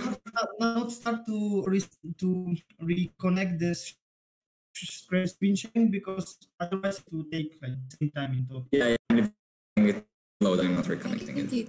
yeah me too. So other people who do who are not able to see it seems not. Can you have five minutes for your position please. Okay, as you have probably seen me before, I am Shlan Alexander from Team Romania, and I will make a short presentation summary of position for problem number five. So first of all, I would like to congratulate the reporter. They had a very good approach for the problem. I loved that they had multiple reactions described, and are Excuse me, you are muted. I muted myself for a while. Yeah.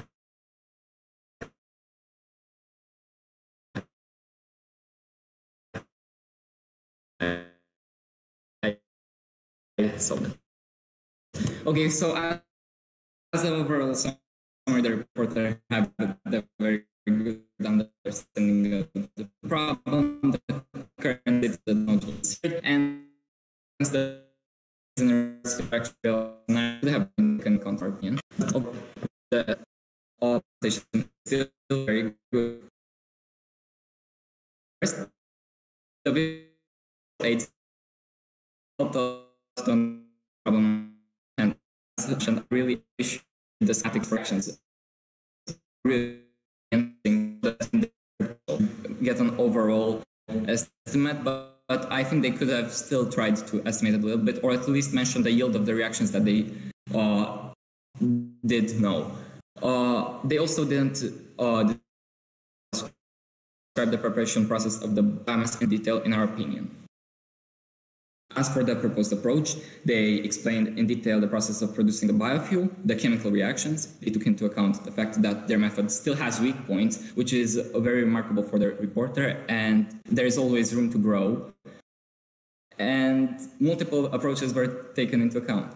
Uh, a negative characteristic is that it is mainly just a review of current methods of preparation for bioethanol.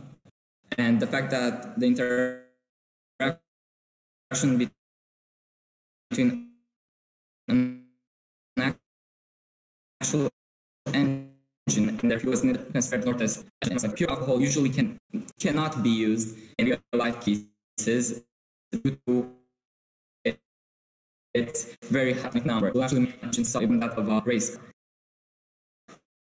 The uh, of the reactions uh, asked the reporter to be quite low. The ones that they deserved, and I think as a side note, I think uh, the reporter did a very good job, even though my presentation uh, showed of negative points. I mean those as constructive criticism, and I believe that uh, the reporter uh, made a problem that has a lot of potential and they really researched uh, their solution. Also, in our opinion, uh, the bioethanol case can really be applied in real life if the solution can be polished in the future. And this is all I had to say. Thank you. This is my opposition.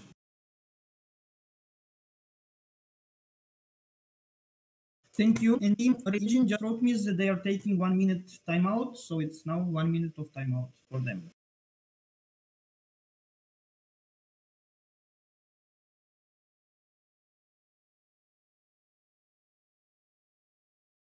Uh, excuse me, can I ask the reporter to turn on the presentation to maybe clarify some aspects or see it? Yes, you can. If the reporter hears us and if he's can do it, please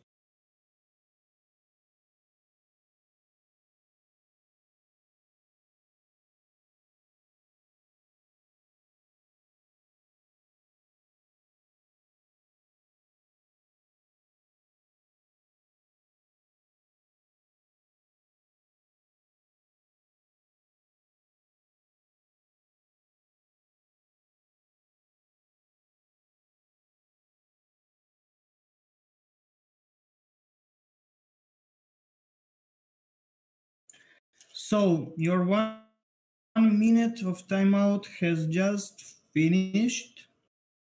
And uh, you have the reporter, you have two minutes for the response for the opposition, please. Okay, I'd like to say thank you to the opponent for um, um, pointing out on the weak points of my this my solution.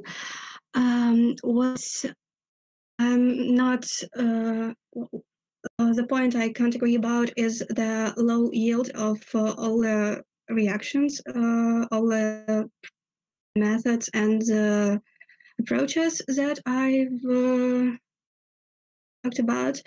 Um, because uh, the exact numbers uh, which I could uh, tell were only about one of them. And uh, the second and third, I haven't said anything. So uh, you can't say that it's proven to be low because there are no actual numbers. Um, and for the preparation of biomass, I don't think that it's uh, that important for this uh, particular solution because um,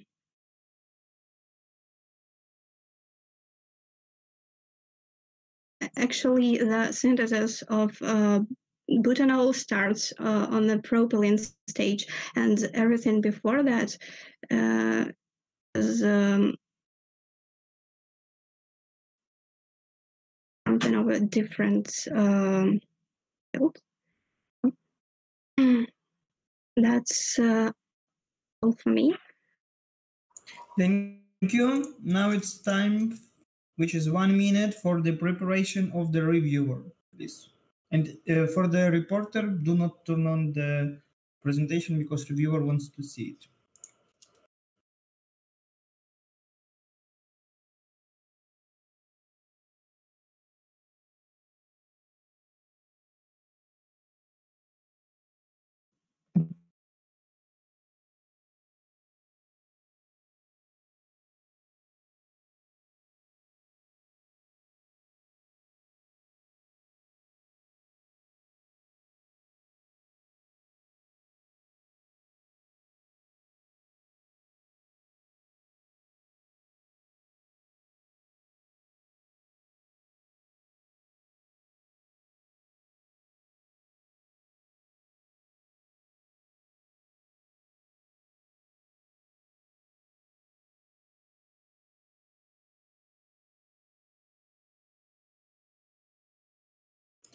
So, dear reviewer, your time for the preparation has just finished. So now you have four minutes for, for the review, please. Uh, okay. Uh, can you see me? Can you hear me? Is everything all right?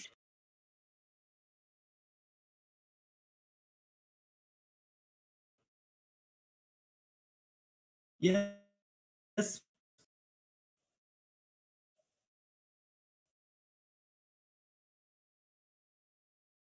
Okay, right. So the reporter from the team Reimagine uh, open uh, talking about the presentation. We've seen uh, uh, a nice presentation with uh, many schemes. However, I think there has been a lot of text, but that uh, led to a better understanding. So I think that's appropriate.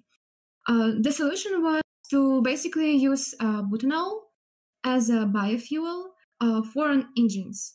Uh, there has been listed some types of engines. However, uh, reporter didn't uh, get into details on that. But I think that's okay because uh, uh, the main point of this presentation, as I understood, was uh, on a new type of production of methanol uh, using a Fischer-Tropsch uh, process. uh, of uh, um, basically burning biomass and then turning it into a butanol. Uh, however, I see that there is uh, some uh, things that needs to be clarified because uh, first of all this this process is widely known and so what's the novelty of using butanol this of producing butanol this way? And secondly there has been some schemes on the Cannizzaro reactions and i've seen their titanium isopropylate free which uh, as i know doesn't exist because it's a Cannizzaro reaction and Cannizzaro reaction uses titanium isopropylate 4 uh, so that's interesting. Also, in this presentation, we saw different classifications of uh, biofuels and saying that uh, the fourth generation and basically the best using Fischer-Tropsch uh, process uh, for the production of uh, basically biofuels. So this again leads to the question of if this fourth generation is known, then what's the novelty? Um, uh, so yes i guess that's uh, the main thing about the reporter. Also no details were addressed on the biomass. I've heard some words about clostridia. I didn't really understood what it was connected with because if the biomass is from clostridia then uh, it can be hard uh, to use uh, on the manufacturer level.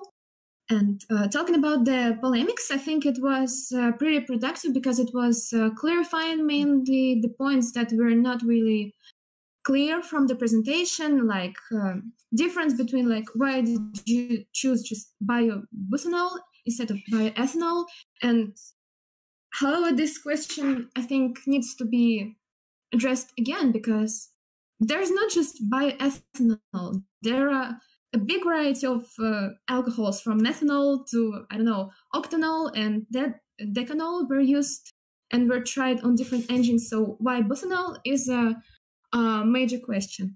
And the next uh, also octanic uh, number were taken into account. Um, and uh, possible modifications of car engine because uh, the octanic number of uh, butanol as the opponent said, is uh, too high uh, to use uh, butanol in the normal engines. However, I think that it is not even the main concern. Not just its octanic number, but also its basically poor lubricity and poor caloric values. Because it's known for low alcohol, butanol is considered a low alcohol that uh, the lubricity of it and its density, and of course, its the caloric values doesn't allow it as a okay. fuel right now. That's and with the main need to stop you. Uh, and now it's time for the 10 minutes suicide polemics, please. Uh, okay, so I would like to start the polemic with uh, basically the question that has already been risen, but I don't think that it was addressed fully. Uh, why exactly biobutanol? Okay, so can I add something about this about the observation? Why exactly butanol? Uh, about uh, to clarify one of my earlier points. So I didn't actually ask the reporter why they chose butanol and not ethanol. I used uh, ethanol only as a benchmark, and I agree. The uh, important question is why exactly butanol. I used ethanol as a benchmark because I had a real world example which I could apply to. But yes, I would like to hear the reporter's point of view, uh, why they chose exactly butanol. And I also want to add a question if I'm. Okay, uh, reporter, take it from here. Okay, thank you, opponent. I'll go with you. Thank you for ability to speak. Um, uh, I've, I think that uh, butanol is uh, quite uh, good because it can be used uh, in uh, the gasoline and diesel engines with uh, the mi- in the mix with gasoline and diesel, and also as a um, single substance fuel. Um, so. Um, uh, if we are talking about the alcohol fuel substitutes, um, the all next alcohols in the row are um, maybe too viscous uh, and uh, the melting points uh, are becoming too high, so uh, they are not um, so good uh, for use in uh, cold uh, conditions and the cold areas of the planet. Um, uh, excuse me, can you please uh, specify what's wrong with the melting points? Because yes, it increases, but actually, uh, as I understood, octanol is still a liquid, so that's okay. And it has a higher flash point, which makes it more safe as a fuel. So what exactly don't you like about it? Mm-hmm. It's uh, melting point. Uh, um, I mean, the melting point of the higher alcohols uh, is uh, not uh, that low to be solid at the room temperature. But uh, talking about winter conditions, uh, they uh, can solidify an engine and uh, they can start solidifying even um, mm, in the process of usage, which can lead to explosions and is a safety concern. Okay, thank you. And another question, um, which I would like to ask, is that uh, why haven't you, you you've had a list of numbers of physical characteristics of uh? That's good, but uh, why haven't you showed anywhere the enthalpy of combustion? Because I think uh, the basically it is the energy that we get from this combustion, and that's the most important point here. I haven't shown in my anywhere, or table, maybe I haven't seen it. was uh, in my table there was uh, the energy density uh, of uh, comparison of gasoline, butanol, and ethanol, uh, and uh, it's uh, the energy per liter. Um, and uh, for butanol, it's higher than for ethanol. Okay. Here, can I uh, add a question myself? Uh, may I? Yeah, sure. Yeah, sure.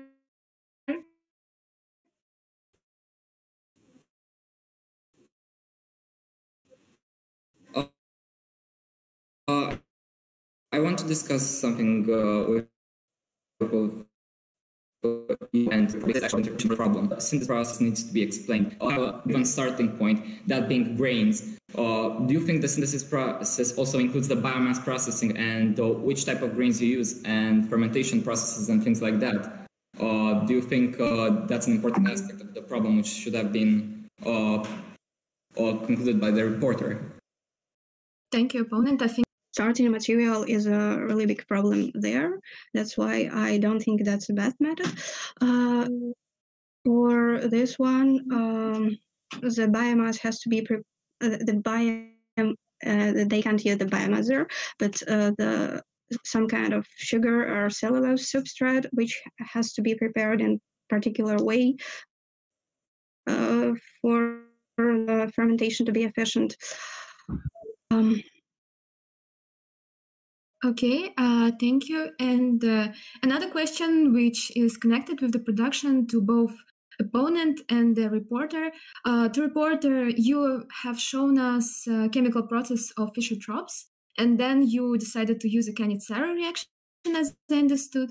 If you will show us the slides, it would be better. So, uh, is it used right now? And if it's not, why did you choose uh, to use that? And to the opponent, uh, what uh, method of production of a butanol, butanol do you think is the most efficient?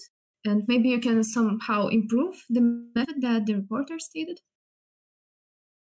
Um, actually, I have a, a question for you. What do you mean by Fischer-Tropsch synthesis? Because um, it was not either. It's uh, the making of uh, higher uh, um, hydrocarbons of uh, methanol, and uh, the synthesis that was used uh, in my presentation is the OXO process.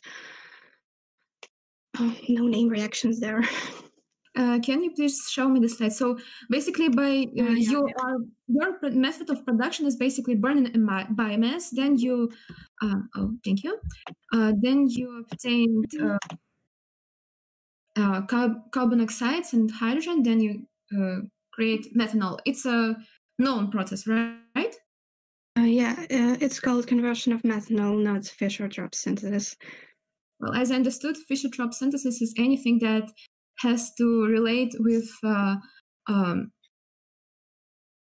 carbon monoxide and hydrogen on a temp- high temperature and pressure to obtain different chemical compounds. So it's a part of uh, No, uh, Fischer-Tropsch. uh, I think it's not really important there. Uh, okay, it's not I was talking important. So, uh, what what's the novelty of this method? As I understood, all these reactions are described, right? Uh, the novelty uh, is only in using the biomass source uh, to produce propylene. Because uh, the techniques uh, to make butanol of propylene are known, the techniques uh, of making syngas from biomass are known, and the um, um, So you say that uh, biopropylene made from uh, biomass is also known, but uh, everything uh, in such a complex is uh, not used nowadays. okay. Uh, can I add my point before the discussion is over? Yeah, I would like to ask you, how would you improve this method? Yeah. Thank Uh, so the reporter showed some um, reactions with a lot of steps, but in my, my opinion, some of the steps, for example, burning the biomass, I think those are just the shifting energy from one place to another without a constant, um, let's say, uh, yield. So you lose a lot of energy in that process. A very good synthesis reaction usually has fewer steps so that the energy loss time. finishing this very interesting three sides polemics and before we come to the closing remarks by the reporter i would like to ask the juries to type the plus in the chat if they want to have to, um, to ask the question. Now it's one minute for the reporter for his closing remarks her closing remarks please. Mm, Thank you. Um, yeah, thank you again to opponent and review- reviewer for um, pointing out uh, what could be improved. In uh, my solution and uh, what should be changed at all. Um, uh, however, I think that uh, the uh, that your points, your both points uh, about the yield of the reaction uh, is uh, kind of wrong because it was considered but couldn't be presented in comparison table because I didn't have all the data. And um,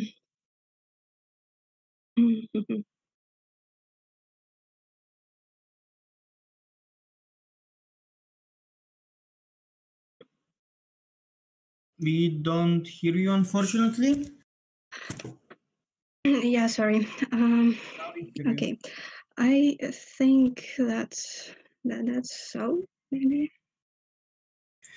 Okay, your time has finished, and now it's time for the questions by the jury. So the first question from Victoria Huren, please. Hi guys, thank you. It was really uh, a pleasure to to listen to you. I have one short question to each of you. So first, uh, my question to uh, to the uh, reporter uh, on the step of burning biomass. Uh, you, like one of the um, conditions was like 1,000 degrees Celsius. It, I, I'm not a specialist, like I'm not from this field, but it, to me it looks like very high temperature. So uh, how energy like costly is it and is it even efficient to burn biomass uh, with this kind of um, condition Mhm. Yeah, burning biomass is um, uh, actually a way of uh, uh, obtaining energy. Uh, so, um, mean the that high temperature are, um, are are made by the process of uh, oxidation itself. Uh, it's so uh, it's not that you have to supply this temperature to the system by yeah, it burning it. supplies itself uh, by going. Um, all right. uh. Uh, then I have a question um, to opponent, probably. Yes. So um, unfortunately, in this uh, discussion in, in this uh, uh, uh, solution, we didn't really uh, hear almost anything about engines. And so, please, opponent, can you describe shortly, briefly, any other kind of engine other than internal combustion and how it works? Uh, not exactly a different kind of engine than internal combustion because usually you have combustible fuel, uh, liquid fuel, you use internal combustion. What I'm meaning is the changes to the parameters. For, for example, the opening for air intake, the cylinder size difference, or the number of cylinders, maybe a higher cylinder or lower cylinder engine is more efficient for alcohols. Those uh, factors, in my opinion, should be investigated. Also, although I cannot give uh, certain examples, I know that uh, um, a lot of uh, cars can undergo a procedure of, of modification so they can accept ethanol-based uh, fuels.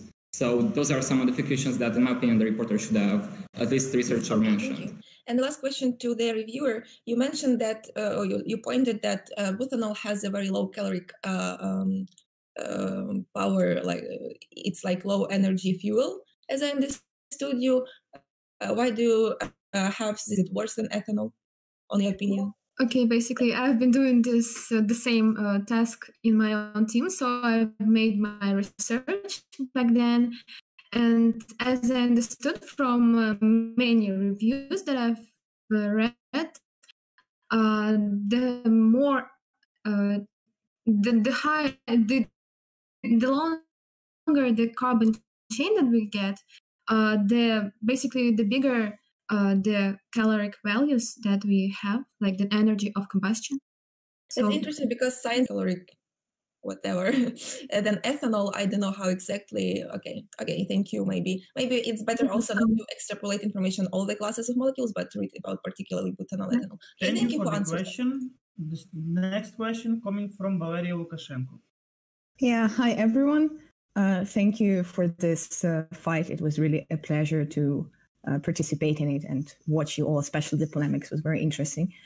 And I would like to ask um, the question to the uh, reporter if you could please show me this table where you had comparison between like the different like. Butanol- yeah you you know what I'm talking about. We- we went to this uh, a lot. Um, Okay. Yeah, this one. Here I was like a bit so I look at these numbers and they all okay, I'm a physicist. I don't know how much difference you want to see in those numbers, but let's say uh, I never worked with engines. Yeah, I don't know how, how different it is. Uh, but the last number, which is called RVP, um, for butanol is really, really low. And so, what does it mean? And what does it mean for the exactly engine or usage of it um, in comparison is to what uh, rate uh, vapor pressure, and it uh, matters most uh, when you're talking about mixing uh, butanol with uh, gasoline, uh, because uh, when ethanol is mixed with gasoline, it's um, actually makes uh, RVP way more, and thus the pressure in the pipelines in which gasoline is uh, trans- transported becomes too high and uh, it's dangerous. And butanol, when mixed with gasoline, makes it lower thanks to uh, its low its low value. But can it be also because I can imagine that engines know about this problem? The engineers who make engines, they kind of yeah create a specific design for an engine that allows this not to happen. So can it be, for example, that the engine might not start because the pressure is too low, or something like this, because you switch to butanol? Mm, no, actually, because uh, the pressure is um, made only um, uh, with the air, and uh, then the fuel is injected in it. Okay, thanks. Okay, dear juries, if there are any other questions to the participants. So I'm waiting a few more seconds. If there are no more questions, then we will switch for, to the grading or scoring. Okay, it seems that there are no more questions. So I'm waiting the scores or the marks in the private message.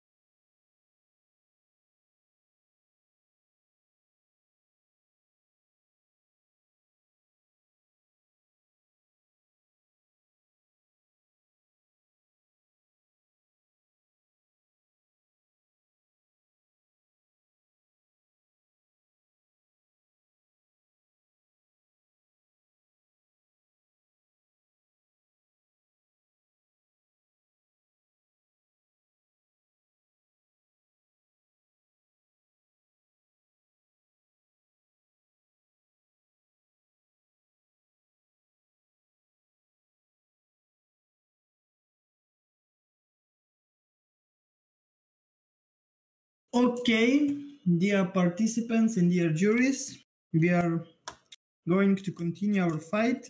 First, we will check if everyone is present. Team Limitless, are you here? Yes, we are here. Perfect. Team VI Chuikova. Ah, yes, we are here. Okay. Team Reimagine. Yeah, we're here. Nice. I will mute Konstantin. Uh, then let's check the jury members. Dmitry Borodin, are you here?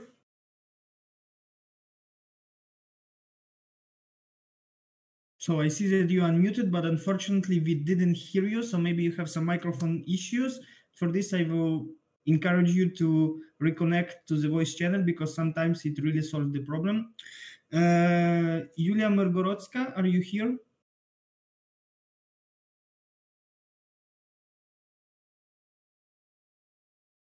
Yulia? Okay, maybe didn't come back for now. Uh, Valeria Lukashenko? Here. Okay, Victoria Huren? Yes. Vitaly Kalanovsky?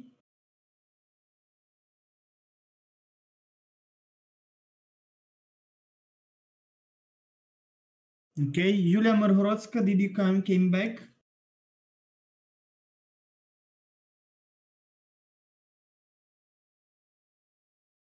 Roman, I guess I'm back. Yes, okay, now now hmm. we hear you. That's good, but we are still missing two juries. So Vitaly Kavanovsky, did you hear us? And are you here?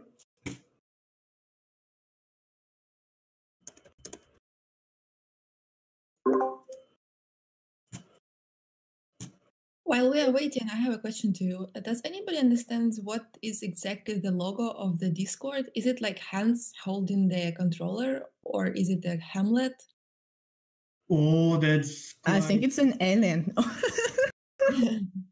that's hard question actually. We should leave it for the um, discussion, right?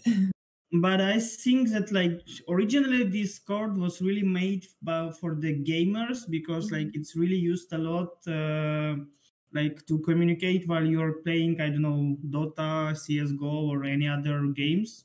So maybe it's really can be uh, like I don't know the PS uh, controller. So Yulia answered me that she is here. That's perfect. We are waiting only for Vitali, but I think I can't hear anyone. Okay, that's a problem. You mean you cannot hear us? Yes, uh, like Julia typed me that she can't hear Oh. us. I don't know why this happens sometime. Okay, but still we are still waiting for the Vitali. I will also write him in the Telegram. Uh, okay, even still, to not lose some time, uh, let's start at least with the. Now, Julia, can you hear us? Yes, hi, now it's working. Okay, perfect. So I don't know why sometimes it can be happen with Discord, but usually, like really, just reconnecting re- solves a lot of problems. I don't know why it's happening. Maybe just because we didn't pay for this server to be paid and to be better, but we don't want to do this, unfortunately. Uh, okay, so Vitali is okay. Can you hear us?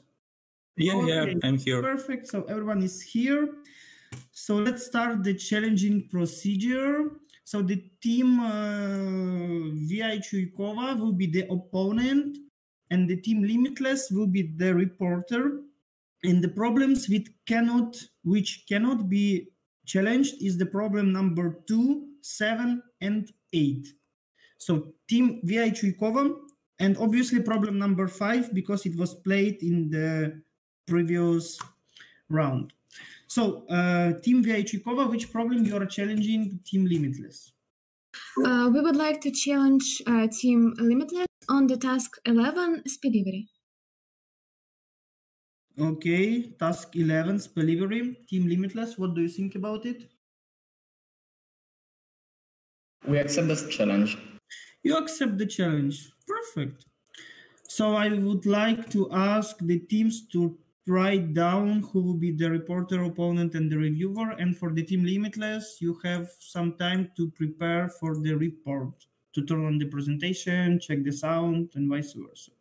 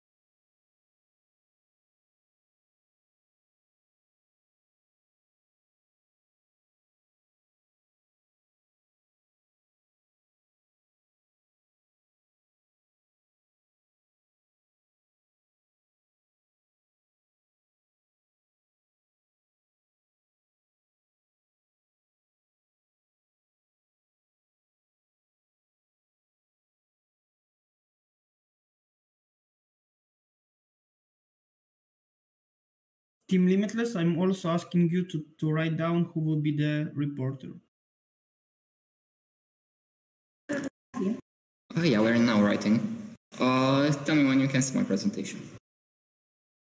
Uh, we can see your presentation. Everything is all right. Not for me. Yeah, I cannot see. Yeah, so I think for the Europe, there are some time a delay. And it's obvious for Germany because, right, we don't have here optical fiber. Really? yeah, that's the all the constant problem and joke about Germany that uh, in 90s, I believe, there was like one guy who was lobbying for his own company. That's why they laid copper cords, and that's why internet in Germany sucks. And only Yeah. now they started changing it to optic fiber. Yeah, the problem is that like internet in Germany when I lived there was really really shitty and it was much expensive. Like okay, not much, but really ex- more expensive compared to the one in France, which is like really better.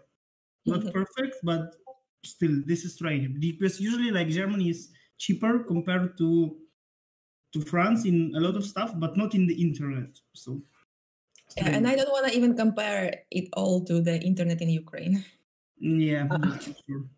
That was like heaven. So yeah, like we are speaking because like the presentation is still loading, so we need to I don't know gain this time somehow. Fill in the time. yeah, it's not that I just okay. So Yay, for me it's loaded, and you see it was like synchronized. So now you have ten minutes for uh, for for the presentation. But before I would ask if there are any other people who still don't see the presentation, I'm waiting a few seconds. If not, then we will start. Five, four. Okay, you can start. You have 10 minutes, please. Okay, hello everyone, my name is Stefan Alexandru, and today I'll present the, to you problem number 11, delivery.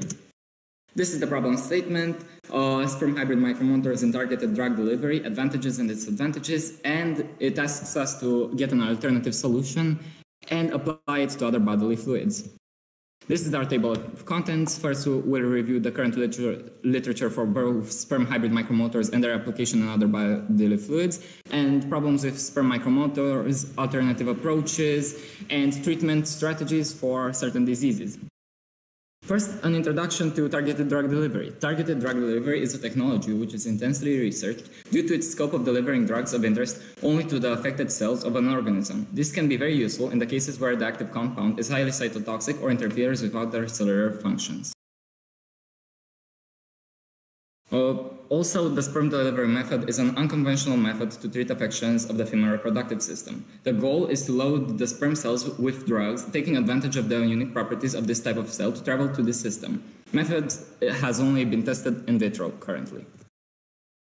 First, how does it work? Standard targeted drug delivery methods either use other types of cells as carriers for the treatment or small vesicles which release the drug after they uh, come in contact with an affected cell. Lutz in 2012 presented multiple cell-based methods of drug delivery and their advantages. The most promising candidates are immune cells, red blood cells, and adipocytes. Immune cells are components of the immune system, and they will induce no adverse effects in an organism. Red blood cells are great candidates for transporting drugs to certain remote areas by the circulatory system, and adipocytes are cells which store energy and secrete factors which regulate metabolic homeostasis. Nanoreactors are cavities surrounded by a polymeric membrane in which uh, one or more components are physically and uniformly dispersed and preserved. Uh, now we'll talk about nanoreactors. Fisher et al. in 2012 examined the drug delivery potential of nanoreactors and described the process of manufacturing the microvesicles, safely storing the drug until it reaches its target. The main structural components of the nanoreactors are double phospholipid layer, any membrane proteins present as receptors, and larger concentrations of active compound can be stored in the nanoreactors, bypassing side effects that would have been pronounced produced by the same amount of the free drug.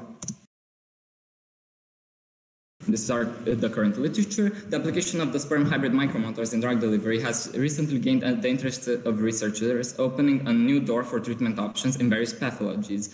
By using sperm cells as carriers for drugs and by delivering them to the target area, which sperm cells can bind easily access, treatment in urogynecology could be revolutionized. The most noteworthy of them are the papers published in 2017 and 2020 by Xu and colleagues, where they looked into magnetically guided sperm micromotors for targeted drug delivery in ovarian cancer therapy.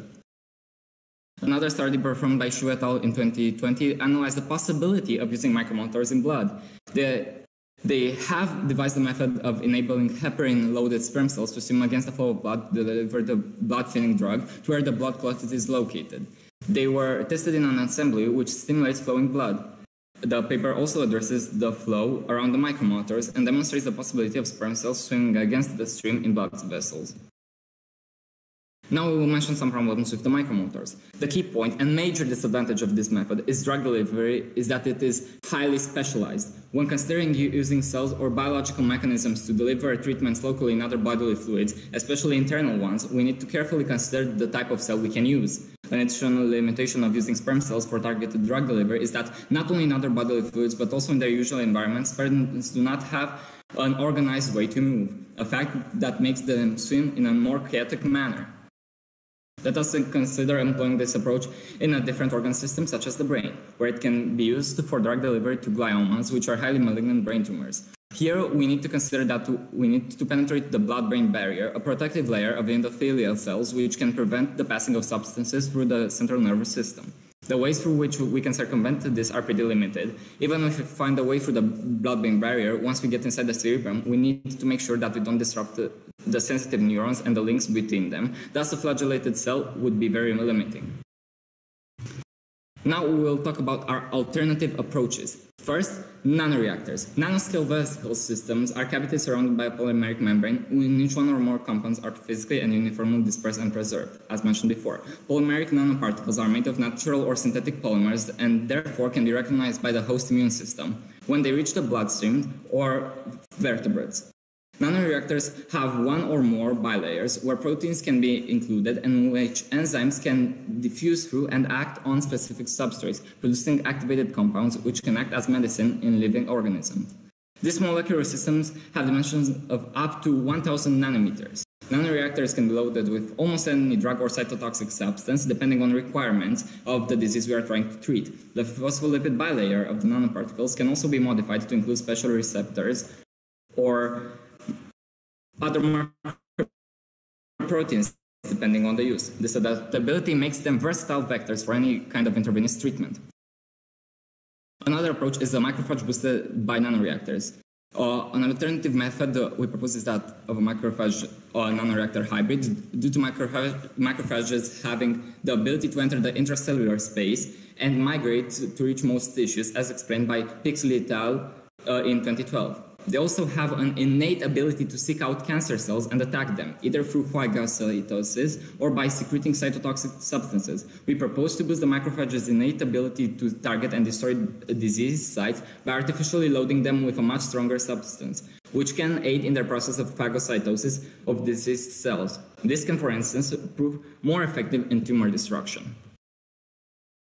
When the substances enter the macrophages through endocytosis, they are contained in the phagosomes and are subjected to degradation. Only some drugs are able to escape from the phagosomes and be released. The most promising approach involves the extraction of macrophage membrane and its use as a co to, to the nanoreactors. Uh, presented by Xia et al. in 2020. One of the problems using the nanoreactors by themselves in solid tumor treatment is their low permeability and retention. We can which can be overcome by this novel approach of coupling the high cancer seeking potential, tissue permeability, and retention of the macrophages with efficient drug release from the nanoreactors. This has the potential of significantly boosting the effect of the drugs on the sites of interest. Now, treatment strategies. First, we will talk about photothermal therapy. Photothermal therapy uses photosynthesizers, which are activated with electromagnetic radiation. This leads to heat release, which then kills the cancer cells. This method is highly used in curing cancer, mostly because of its nanoscale materials that have enhanced permeability and retention. The most recent method uses gold nanorods, or ANR, uh, proposed by Jeremy B. Vines and colleagues. They consist of gold nanorods coated in phospholipids to make them biocompatible and not alert the immune system or cause irritation. The way they function is very similar to that of an induction heater, where a rapidly oscillating magnetic field can heat conductors, making them vibrate at very high frequencies. These particles are also called apoptotic bodies, and they could be easily included in nanoreactors and delivered to cancerous, cell, to cancerous cells.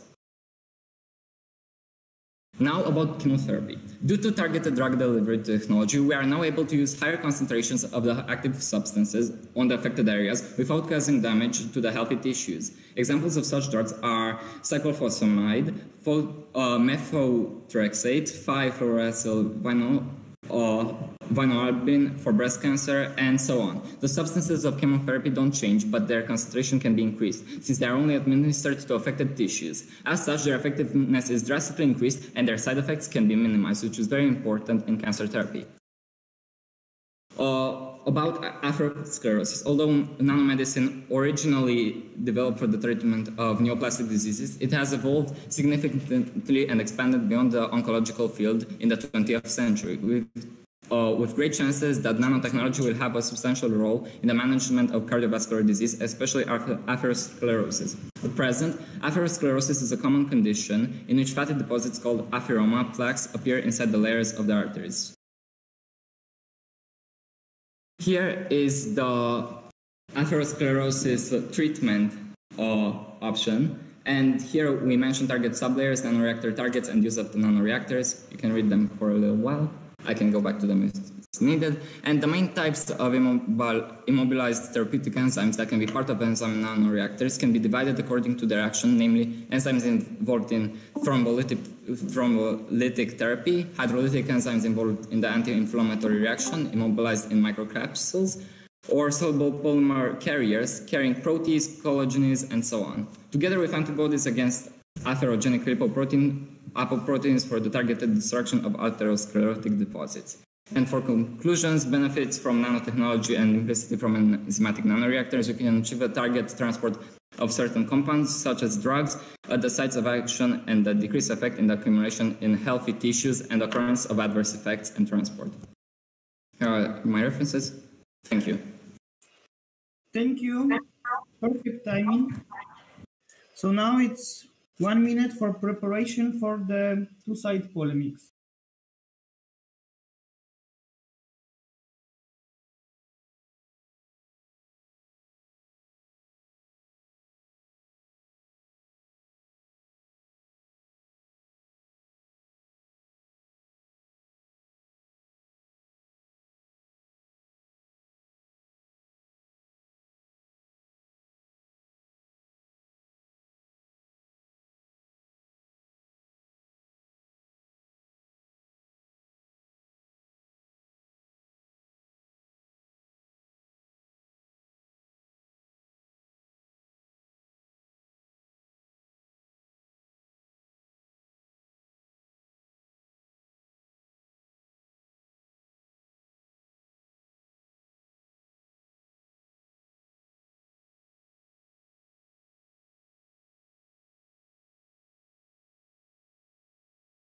So the time has passed. Dear opponent, are you here?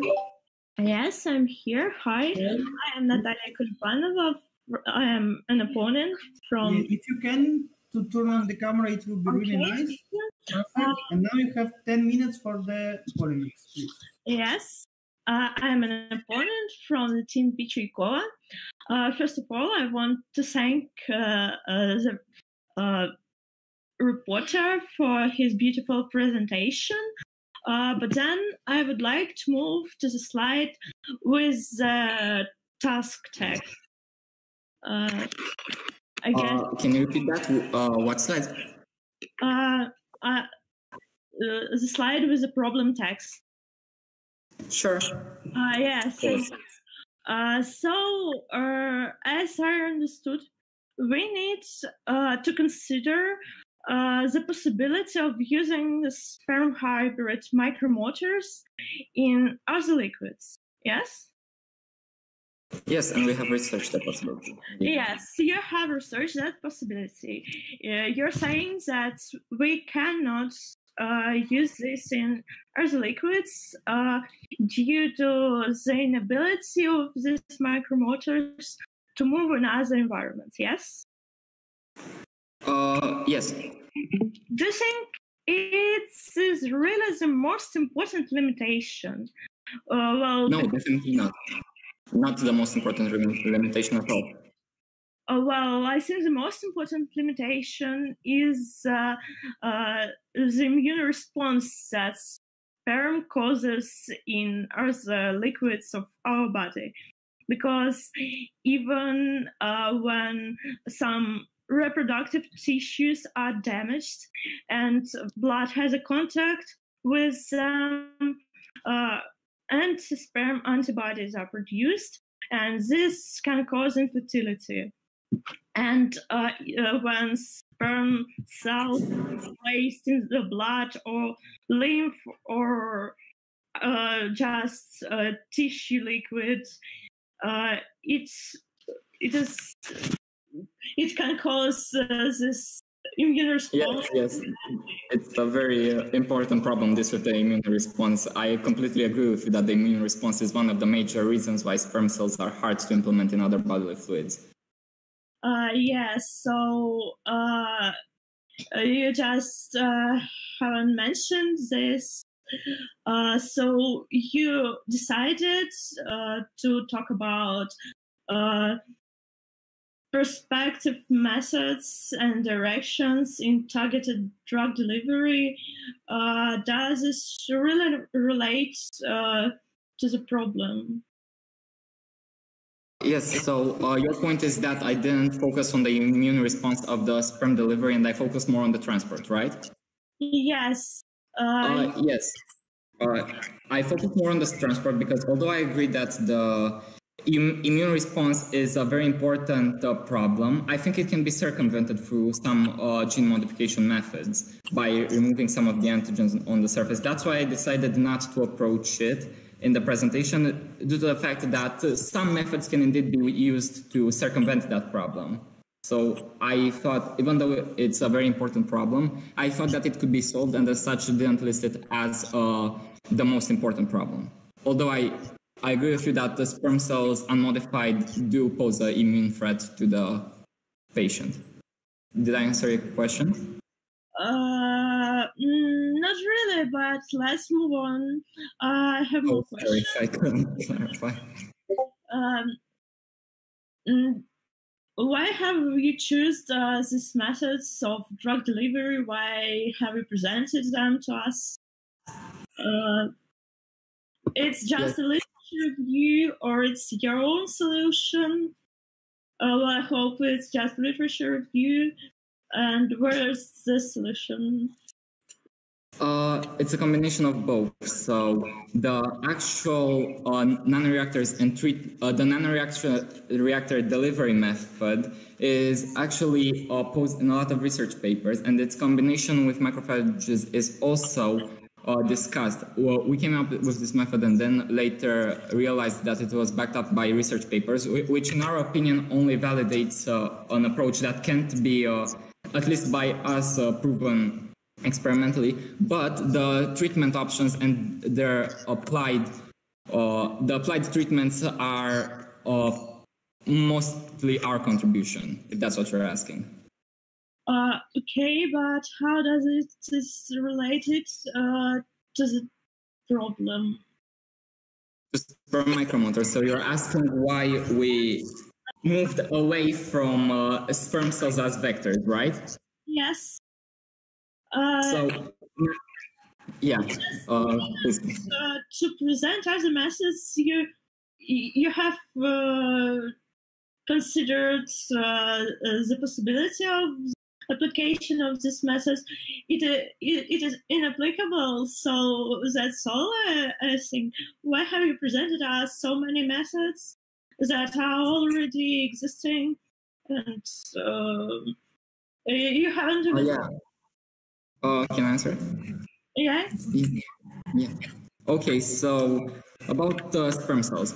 Uh, as we mentioned, there was a study with their application in uh, blood fluids. So, uh, if we reject all the problems with uh, immune response and so on and so on, and only focus on the flagellum part and their targeted drug delivery, even so, they can't be easily guided. They have to use external uh, magnetic uh, guidance as an example.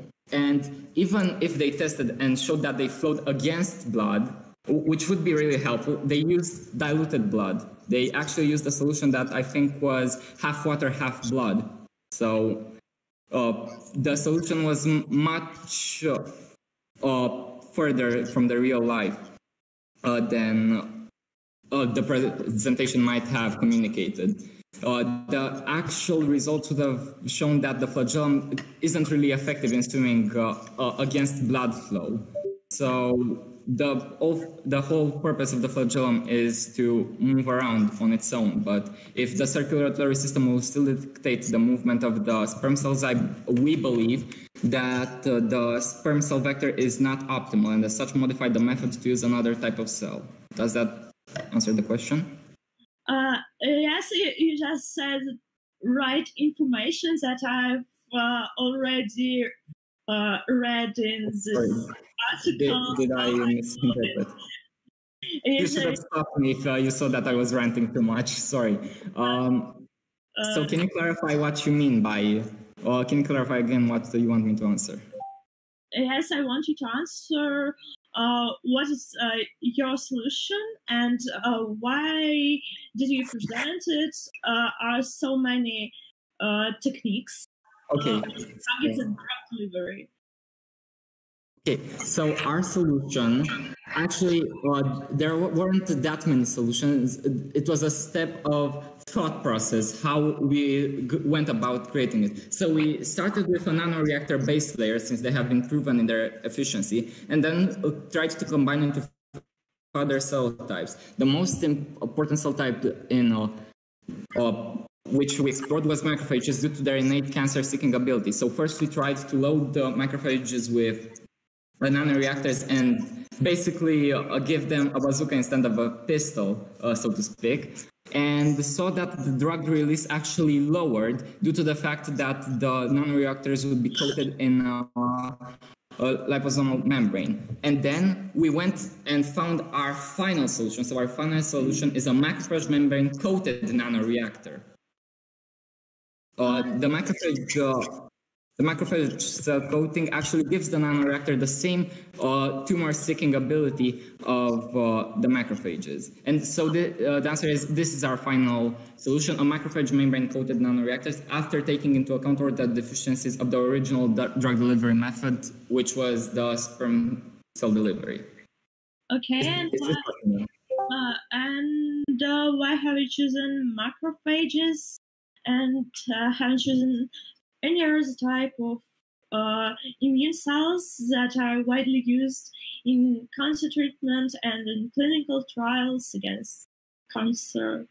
And so, uh, Yes, certainly. There are a lot of im- immune cells that could have been used, but uh, we thought that the macrophages are considered the most potent in seeking not only uh, tumor cells but also inflammation in general. For example, for arteriosclerosis, the macrophages also uh, uh, seek that, seek inflammation. uh, wouldn't uh, the presence of macrophages boost the formation of atherosclerosis uh, stuff? Uh, because uh, the involvement of macrophages in uh, is really high. Uh, they uh, produce uh, different substances that cause other cells to move to the place of inflammation. Wouldn't it affect the disease in the worst stage? Unfortunately, oh. I won't hear this answer right now. I would like to ask you to answer the question the suicide polemic. And now it's two minutes for the opponent to prepare for the opposition. Please.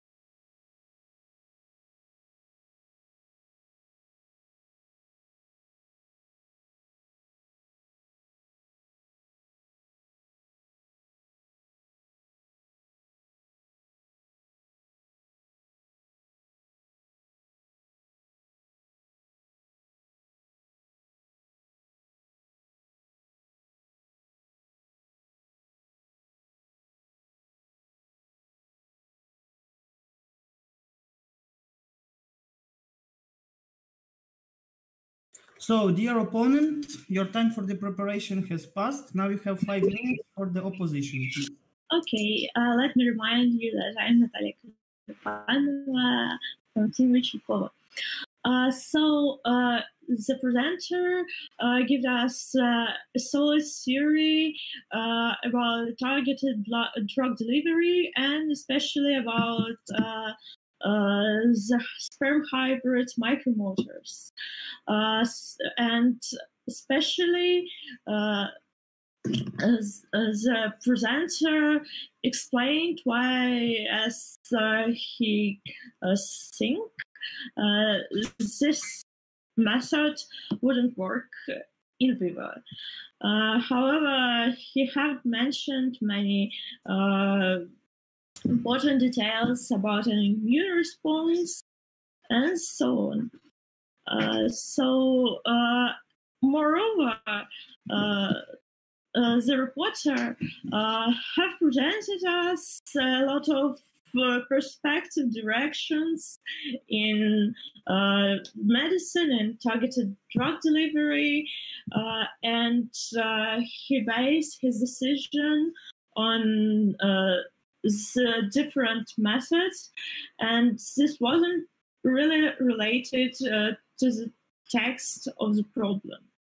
Uh, so uh, I think uh, that the reporter coped with this problem, but he did an extra work that uh, not really applicable uh, because this technique must be questioned too. Thank you. Okay, So now it's two minutes for the reporter to answer for the opposition.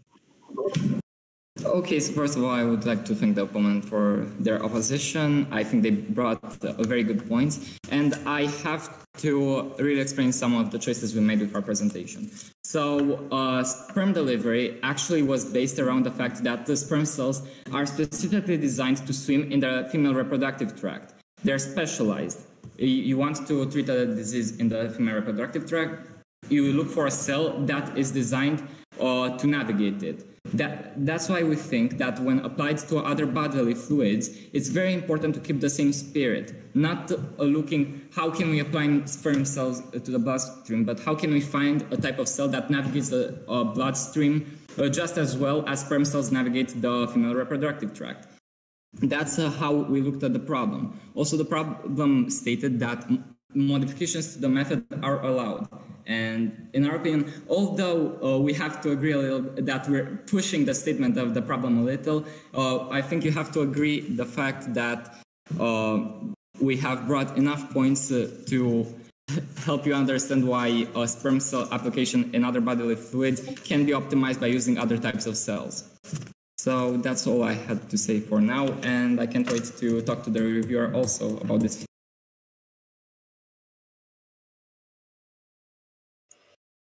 Okay, so now it's one minute for the reviewer to prepare for the reviewing.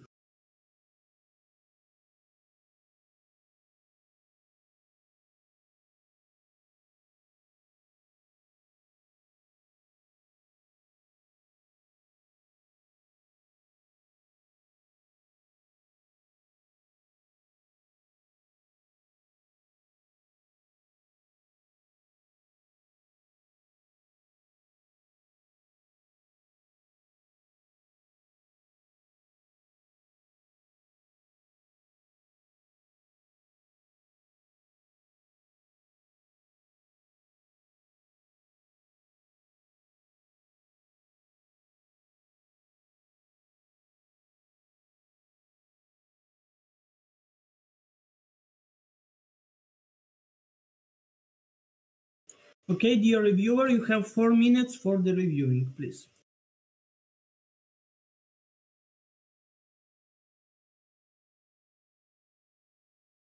Okay, dear reviewer, we don't hear you, so I will stop your time and I will ask you to reconnect.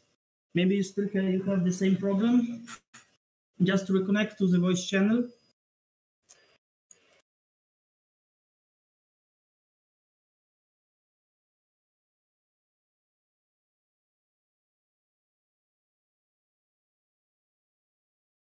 Yeah, try to say something.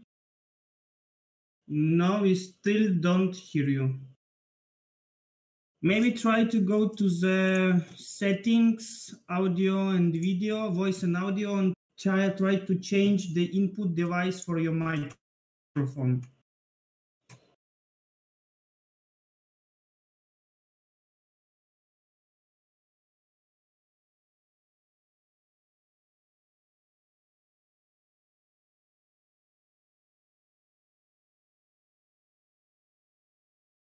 Uh, yes.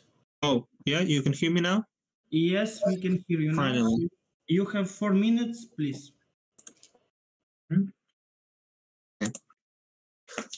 So, good day, everyone. Uh, dear, good day, dear colleagues. I am Petro Voloshin from the team Reimagine, and I will uh, be the reviewer for this fight. I will start with the review of the presentation of the reporter. Uh, the reporter presented a solution to the problem of the drug delivery in other fluids, uh, not just in the female reproductive ones. Uh, the um, reporter had a pretty decent overview of the theory and literature at the beginning of, the, of his presentation.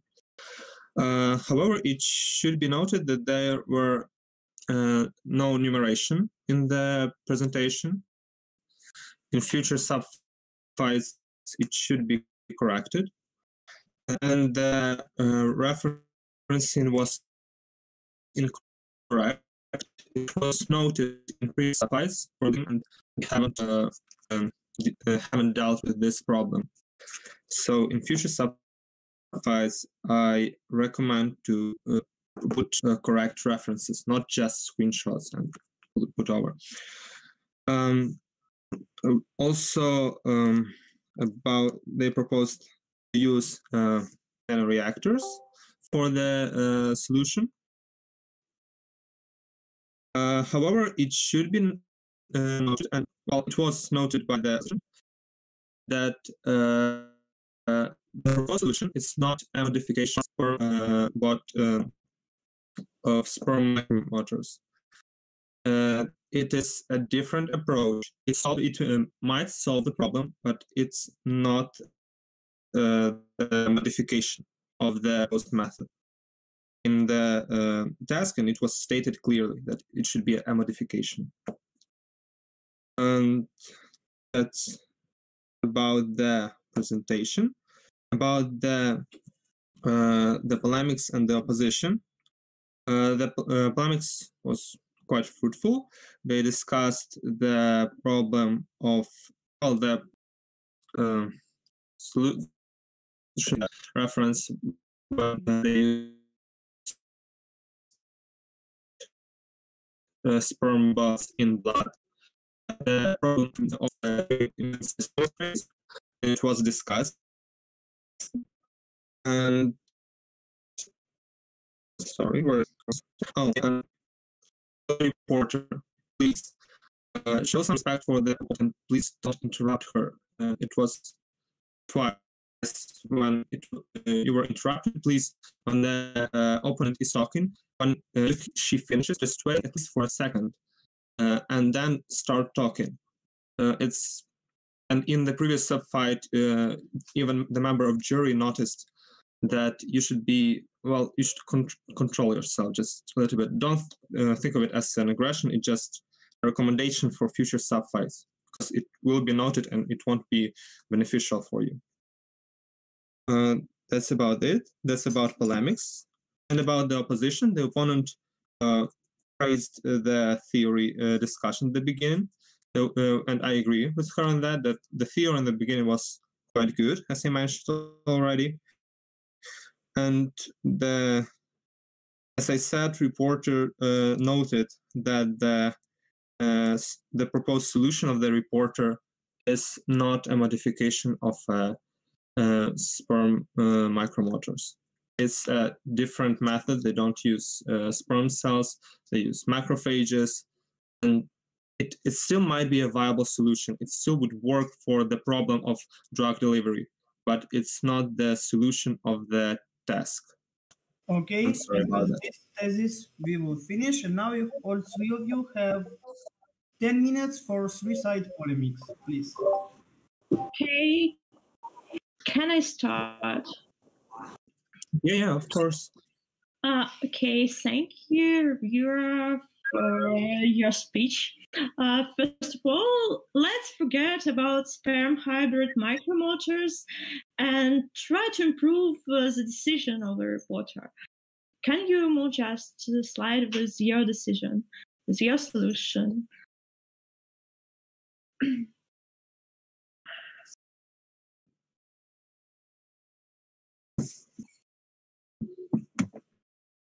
yeah, uh, you propose uh, uh, the solutions that consists of macrophage membrane coated nanoreactors. Can you explain what an experiment uh, you should conduct uh, to prove your theory uh, if well, those experiments were not conducted? Okay, so such an experiment has already been conducted, as I mentioned uh, in the research paper. Uh, I think it was only tested in vitro, but these uh, nanovesicles were actually created by the disruption of a macrophage injected with such a drug, and then their permeability in infected cancer tissue was tested in vitro on a culture base. And then they tested how many uh, migrated and were absorbed with the drug delivery in the tumors. So Also, uh, sorry, uh, first of all, sorry if it came off as interrupting. I just really wish we had more time to discuss and just really love discussing the problems with everyone else. So sorry if it I came off as rude. Okay, now we have quite plenty of time for this. So Okay, so No uh, uh, this experiment what has been already already conducted.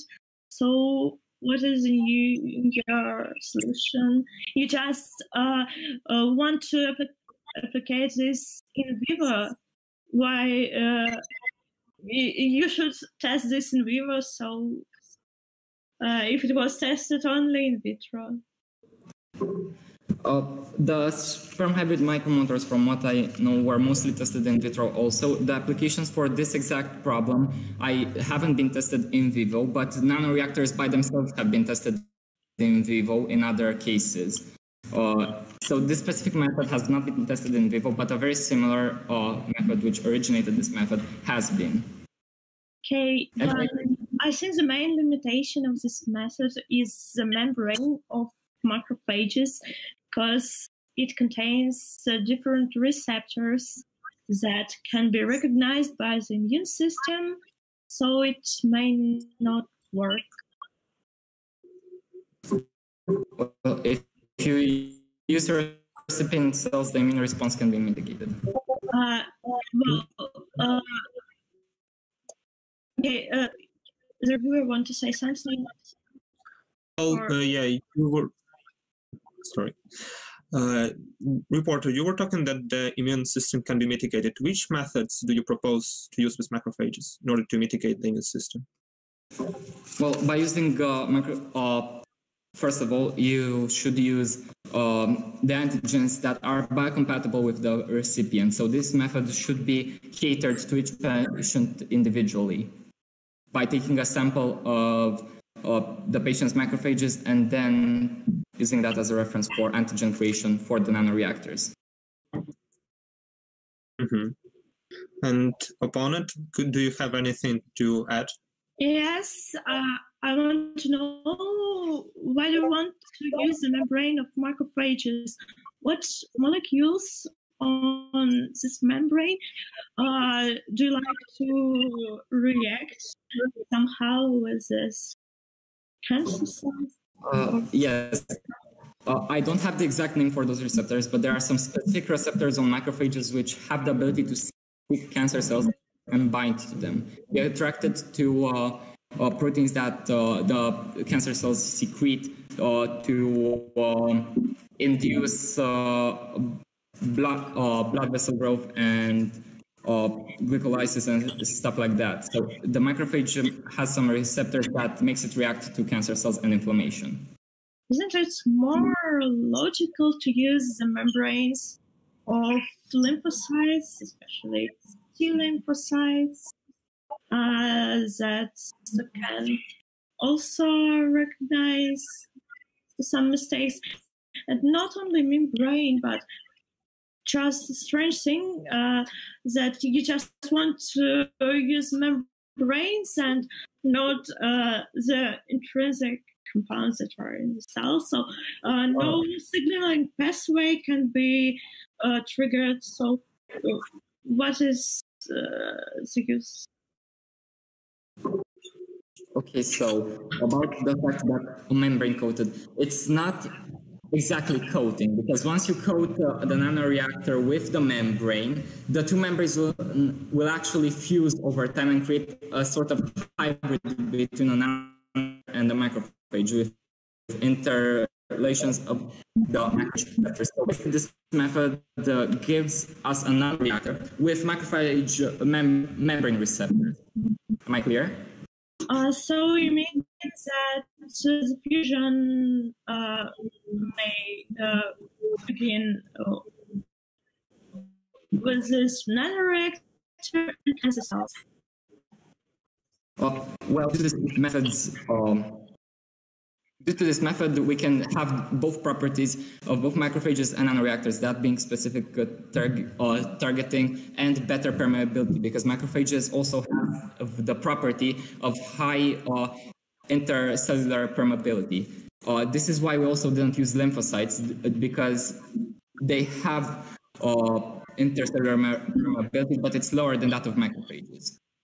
Well, uh, will it have the uh, increased tissue permeability if it hasn't any uh, on this picture it hasn't any nucleus for example uh, and nucleus is very important for immune uh, system cells uh, movement tissues uh, because it limits uh, the size of the hole they go into yeah, well, for example, uh, yes, nanoreactors already have a very small size, and uh, removing the nucleus of the macrophage is part of the process due to the fact that we have to limit the size of the nanoreactors to be as small as possible. Nanoreactors already have great uh, tissue permeability. Uh, they have been tested in vitro and in vivo, but uh, in vitro applications of this uh, macrophage membrane hybrid with nanoreactors has been shown to increase the permeability of nanoreactors. But not only the size of the nucleus is important, but uh, there, uh, its connection with the membranes through the cytoskeleton. Uh, it's like signal, more signaling pathways and just the physics. Uh, I'm sorry, uh, we have only two minutes. If uh, reviewer want to add something. I have uh, to respond quickly to this point. Uh, the actual uh, migration uh, doesn't uh, really matter in this context because the cytoskeleton and the pseudopod emission done by the nucleus combined with the cytoskeleton of the macrophage isn't really needed for a site this small. And the main mechanism is actually the receptors of the nanoreactors. Yeah, please continue. Sorry, I don't want to. Uh, okay. So, uh, my, I will ask a question uh, if you're not against it. Uh, my question is uh, how the medicine will react on these like nanoreactors. Are there any problems with the exact medicine we put inside them? Uh, I have also presented some uh, cytotoxic uh, medicine, if that's what you're worried about. Uh, you worry about the integrity of the nanoreactors. Mm-hmm. And uh, no, their integrity would not be affected. They have been tested and show great stability in holding both hydrophilic and hydrophobic uh, medicine. Okay, that's good. Does the opponent has anything to maybe have some questions which are close to this one about the mechanisms of that? Okay. Uh, so uh, the next question. Oh. So I don't think. Okay, then I think it's time to finish our discussion. Done. Thank you for the discussion. It was really fun. Yeah, it was really interesting Yeah, to hear thank this, especially for me.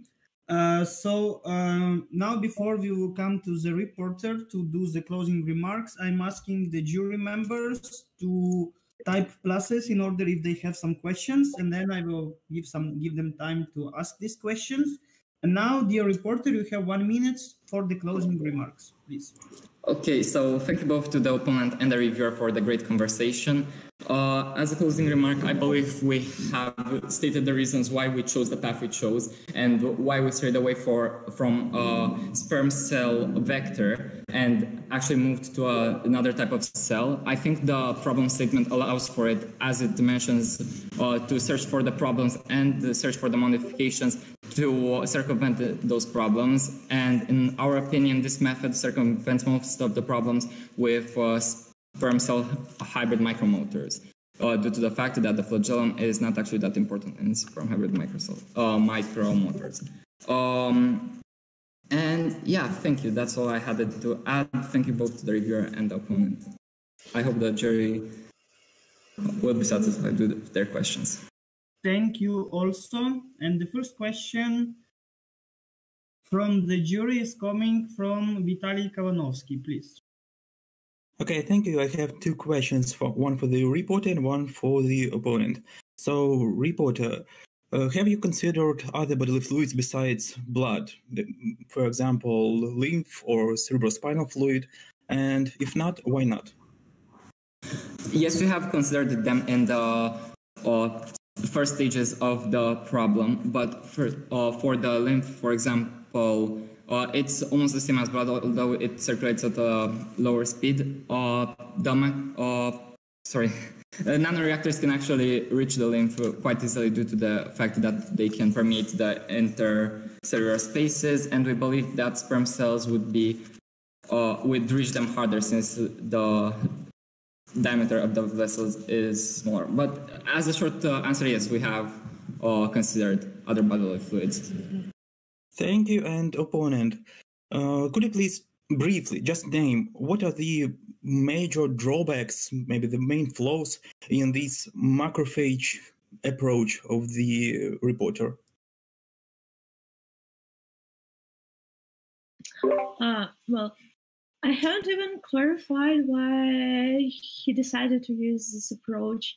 This is useless, actually. Thank you. Thank you also for the question. So the next question is from Yulia Murgorodska, please.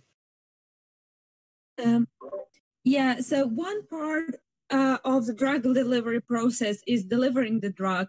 Another second part is actually releasing it. Uh, do you have an idea how your system would be releasing the drug that is trapped inside of this macrophage? Well, as I mentioned, uh, there was a problem previously by loading nanoreactors directly into the macrophage, and it would actually have problems releasing the drug. That's why we strayed from it and actually only used the membrane from the macrophage and then hybridized it with the nanoreactor membrane. So the actual drug delivery for a macrophage nanoreactor hybrid is uh, that of nanoreactors being endocytosis or you know, so, So your you know, drug, sorry, your drug is inside of the membrane. So let's say your drug is what your drug is small molecule, or let's say, well, maybe something bigger. So it is not trapped in, inside of the nanoreactor, but on the surface. Uh, no, it is trapped inside the nanoreactor, and then uh, due to the receptors on the membrane, the cell takes in the drug, and uh, yeah, and then the drug is directly delivered to the cell or to the sites of uh, injury or other affections, depending on the cells. So the and the vesicle will release drug automatically in the correct environment. Okay. Thank you for the question. Next one is from Victoria Huren. Uh, hi guys, I also have one question per each person, so please be short. First question to the uh, reporter. Uh, I didn't really get from your presentation. Uh, it looked to me like you are interchangeably using uh, words uh, nanoreactors and liposome whatsoever. So please explain me the difference between nanoreactors and liposomes. And also, you mentioned that nanoreactors are covered in polymeric membrane. So which polymer is that, or did you mean lipid? What was that? Uh, sorry, that was a confusion on my part with the polymeric membrane. It's actually a phospholipid bilayer similar to cell membranes. And as for liposomes and nanoreactors, I think uh, the main uh, similarity between the two is that they're both vesicles, and I don't think that we can actually differentiate if these are liposomes or nano. Nanoreactors is just another name for uh, drug-loaded liposomes, as far as I know. I might be wrong. Thank you. Uh, then I have a question to the uh, opponent. You mentioned you you proposed during the um, uh, discussion that, uh, or you asked the uh, reporter why didn't they, for example, try to use adipocyte cell wall membrane? How do you think blood flow, like immune cells, would react on adipocytes in blood flow? Don't you think it can cause maybe some like drawbacks, some reactions? Well, you said I have proposed a adipocyte cell membrane. Yeah, you are. Uh, I haven't proposed that. I got you wrong then. Uh, yes, I proposed other uh, immune cells uh, modifications. Okay, all right. Thank you then. Sorry for that. And also then the last question to the uh, reviewer. Since we didn't really hear it in the uh, presentation, it was not really explained. Could you please explain us briefly how actual uh, uh, sperm microrobots release uh, their drug into the target cells? Because I don't know this part and it is interesting to me. Okay, so the one approach I am familiar with is that uh, when the sperm bots actually reach the, their target, uh, the target is heated or it's already hotter than the surroundings. So it can be heated via some uh, like uh, electromagnetic waves. And the uh, sperm bot has this uh, specific coating that uh, degrades when the temperature is raised. So when it comes to this region, the target region with higher temperature, it uh, degrades because of the temperature. And then the, all the uh, medicine drugs are released into the target. Does it mean that first you need to put something you can heat up in your target? So, for example, you, can, you should put some metal into tumor and then using waves heat it up, or what? That also can be uh, a thing. Uh, there's um, an approach when you have uh, uh, non-moving uh, sperm cells. They, they are inactive in movement. And you attach metallic springs to them. And then you use magnetic field to, um, um, to glide them through the fluid. And then this metallic spring uh, again can be heated by electromagnetic waves. All right. Okay, thank you. You're welcome. Thank you. And the last question from Valeria Lukashenko. Hi, yeah, I'm glad actually that Yulia just raised uh, this question about uh, how it actually works because I also got very lost. So I'm very sorry for, for my ignorant question, that probably. But you just said you can put, reviewer just said you can put like a metallic spring onto this sperm thing. And I also saw that at some point there was some idea, at least reporter mentioned something with gold and yada yada yada. So my question is, maybe some of you, I really don't care who, but someone you can answer to me or tell me, is it actually safe to leave those mag- like metal pieces inside your body? Because that would be something that I would be very concerned if it happens. Yeah, reporter, please, if you. Yeah, this is one of the reasons why we also uh, we also mentioned that they need some guiding, and the only guidance system we have found yet is that of magnetic particles, and that's also a problem because you can't just inject those magnetic particles in the bloodstream and hope for them to go away because as far as I know, they can't be filtered out by the kidneys or any other uh, methods. So maybe an extra filtration step uh, is needed, and then those magnetic particles could stick together and create embolisms in the blood flow. So that could create. That's why we chose an approach which is easier to guide or guided chemically. Yeah. Okay. Thanks. Yeah, that's very clear. Thank you. Mm. I know that your name is Victoria. I know it very well. So now it's time for the for the putting the the marks from the jury in my private messages. And before this, I want to announce that the second fight will start slightly uh, shifted. It won't be at 1 p.m. CET. It will be at 1:15 to really have a more or less normal time for break. Yes, so I'm waiting for the marks.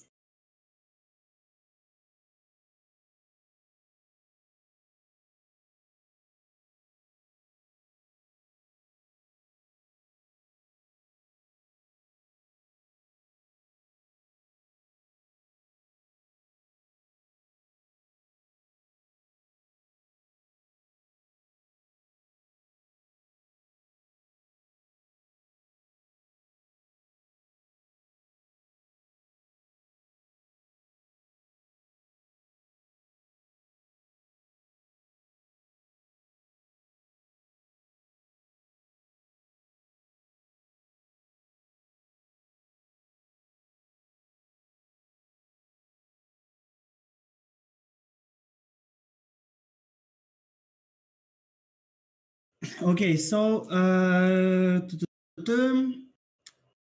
marks. they are quite interesting, and it will be really interesting to hear the comments from the juries because some marks are like the the difference between marks are like super big, at least for me. So the marks for the reporter two, three, nine, seven, seven, five. The marks for the opposition four, seven, eight, six, six, six. And the marks for the review six, seven, eight, eight, five, seven. So I'm really want to hear the comments, especially for the really. Please, Victoria. Please, Um, Victoria. Okay. oh, okay. Okay, Julia, Um, you, I can. You can start if you want. Yes, no problem. Yeah, I put uh, quite high marks uh, as I really enjoyed this. Uh, I think that was a fight I um enjoyed the most out of, of all of the topics. Well, putting aside that I do work in drug delivery and I can appreciate the complexity of some of the problems. Um, so my uh, my score varied a lot through this presentation. I think, uh, especially for the reporter, because it started pretty low, and as he continued explaining um, his point of view, I kind of appreciated they did a lot of research that was not really presented in the presentation, so that's a pity. But I think he did. Uh, oh, kind of addressed a lot of points. Of course, I also take into account that you're just students and this topic is inherently complex and a lot of things need to be taken into account. And um, like people cannot solve drug delivery in a big pharma, so we don't expect you to do that. Um, and as for the other uh, opponent, I also appreciated that just because of the questions that she asked, he was able to um, to address this topic way more than he did in his initial presentation, even though he doesn't answer exactly what the question was asking for, because I think it is pretty useless to talk about um, yeah, sperm delivery in um, in blood or any other fluids. If it doesn't work, you shouldn't be focusing on things that doesn't work.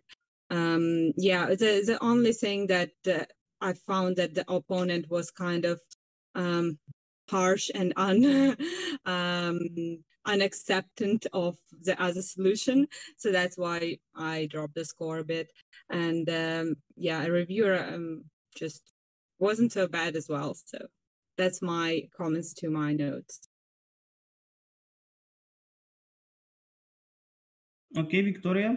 Yeah, um, I would like to, um, also to comment my marks. They were pretty low.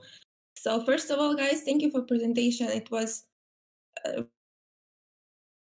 it's like absolutely off the uh, task of the problem, and uh, it even like okay, if you think that this method is not approachable or like it's not really it could not be really used then you should clearly explain it in your presentation which was not done and why uh, so in the end of your presentation i had an impression that you just completely missed the point of of the task and only in the discussion uh, you um, motivated enough your solution at least somehow. And also you spent only one or two slides on the actual point actual like hero of this task like those uh, uh, micro robots. And i think it's very not enough and you mentioned for example that one of the drawbacks is that they were very specific in delivering so it would be very hard to pick the uh, correct target as i got from your presentation. But actually specificity is what we are lacking in drug delivery like some like in many ways in many many fields.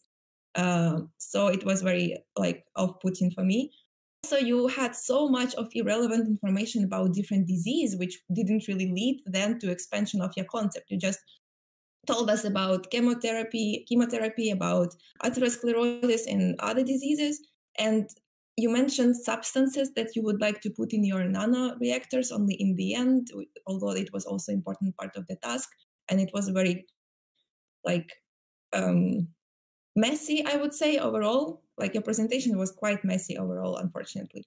Um yeah and also i didn't get why are they nanoreactors what is there from reactor and also in the end you like your extraction of membranes from mi- macrophages like so complex process in the end it's uh, you you you like leave out nucleus, you leave out, as opponent pointed out, uh, cytoskeleton, which is important for them to move to grab their target. So in the end, you're left only with membrane. So what is it? Why is it better than just create liposomes, put on them specific like antibodies, which will target uh, right cells in the body, and it would be way cheaper, and you don't have to extract macrophages from patients. So I don't know. It was for me, this solution was very wrong, uh, to be honest, and I didn't get it at all.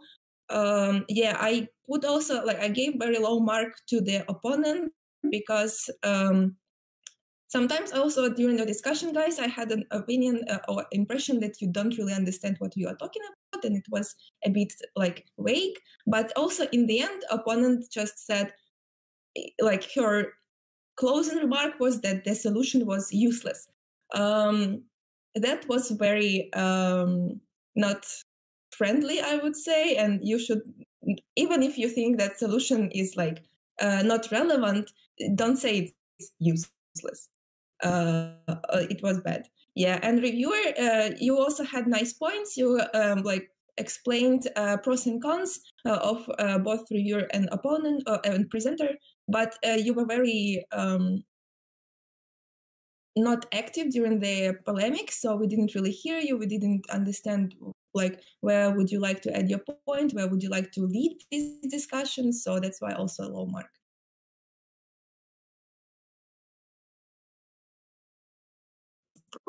thank you for your commentary i tried to well i explain myself quickly that i tried to not to interrupt the discussion of the reporter and opponent so it looked like I didn't participate at all. But thank you for your commentary. I'll take it into account. Can I also say a few words? Because I kind of sure, sure. And I also hear the uh, words from Vitaly Kanovsky because he also put like quite low marks. Uh, because I put kind of like in, in middle marks, let's say, in most cases. So I guess it's also a good uh, a spectrum that you see a high, a low, and like a middle one. So for me, for example, uh, of course, yeah, I understand the point of missing, let's say, a bit the question of the task, and I think it could be saved um, very easy by just in your presentation, just you know, saying at some point, okay, this thing with the promoters is just very bad. You know, this metal core, yada yada. We really don't think it's a good thing. So instead of just, you know, adding something to it, we really want to start from scratch. We want to create a new carrier that will be way better, blah, blah, blah. So there will be some, you know, link that you just think that just modification is not enough. So why to spend time on that if we know it's that has these problems that are way bigger than its advantages? So I would save it like that. And but other than that, I was I, I, kind of agree with many of Victoria's points. So she raised these issues with a lot of information and presentation was a bit irrelevant and like not maybe highlighting the necessary things, which I think is really important. And but still for me somehow, I mean, of course I'm not an expert. I was still very impressed with just amount of research that went into it. So I I know that it it a lot of things popped out in discussion rather than in presentation. That's a problem, but still they popped out and I could see them, and that really impressed me. So that this mark be- became kind of middle because you know I know the problems, I know there are good things, and I kind of put it somewhere in between. And there's also one thing that I wanted to point for the opponent because in the first discussion, I think at some point opponent said something that reporter uh, asked her whether she was satisfied with the answer, and the opponent said, not really. And then she still switched to another topic. And I think this is somehow, yeah, you if you don't understand the answer, keep asking. Like, I mean, this is also the part of scientific process. You need to explain your answer. It's not just if I don't understand, uh, fine, but you know, you, you need to try to maybe push a bit there if you really do not understand and think it's a valuable point to raise. That's the only comment I wanted to add. Thanks. Okay, thank you. And Vitaly, can you also comment on your point, please? Yeah, of course. I'll comment only on the mark to the reporter because the other two marks were medium, I'd say. Uh, generally, I'll join whatever the uh, Victoria said already.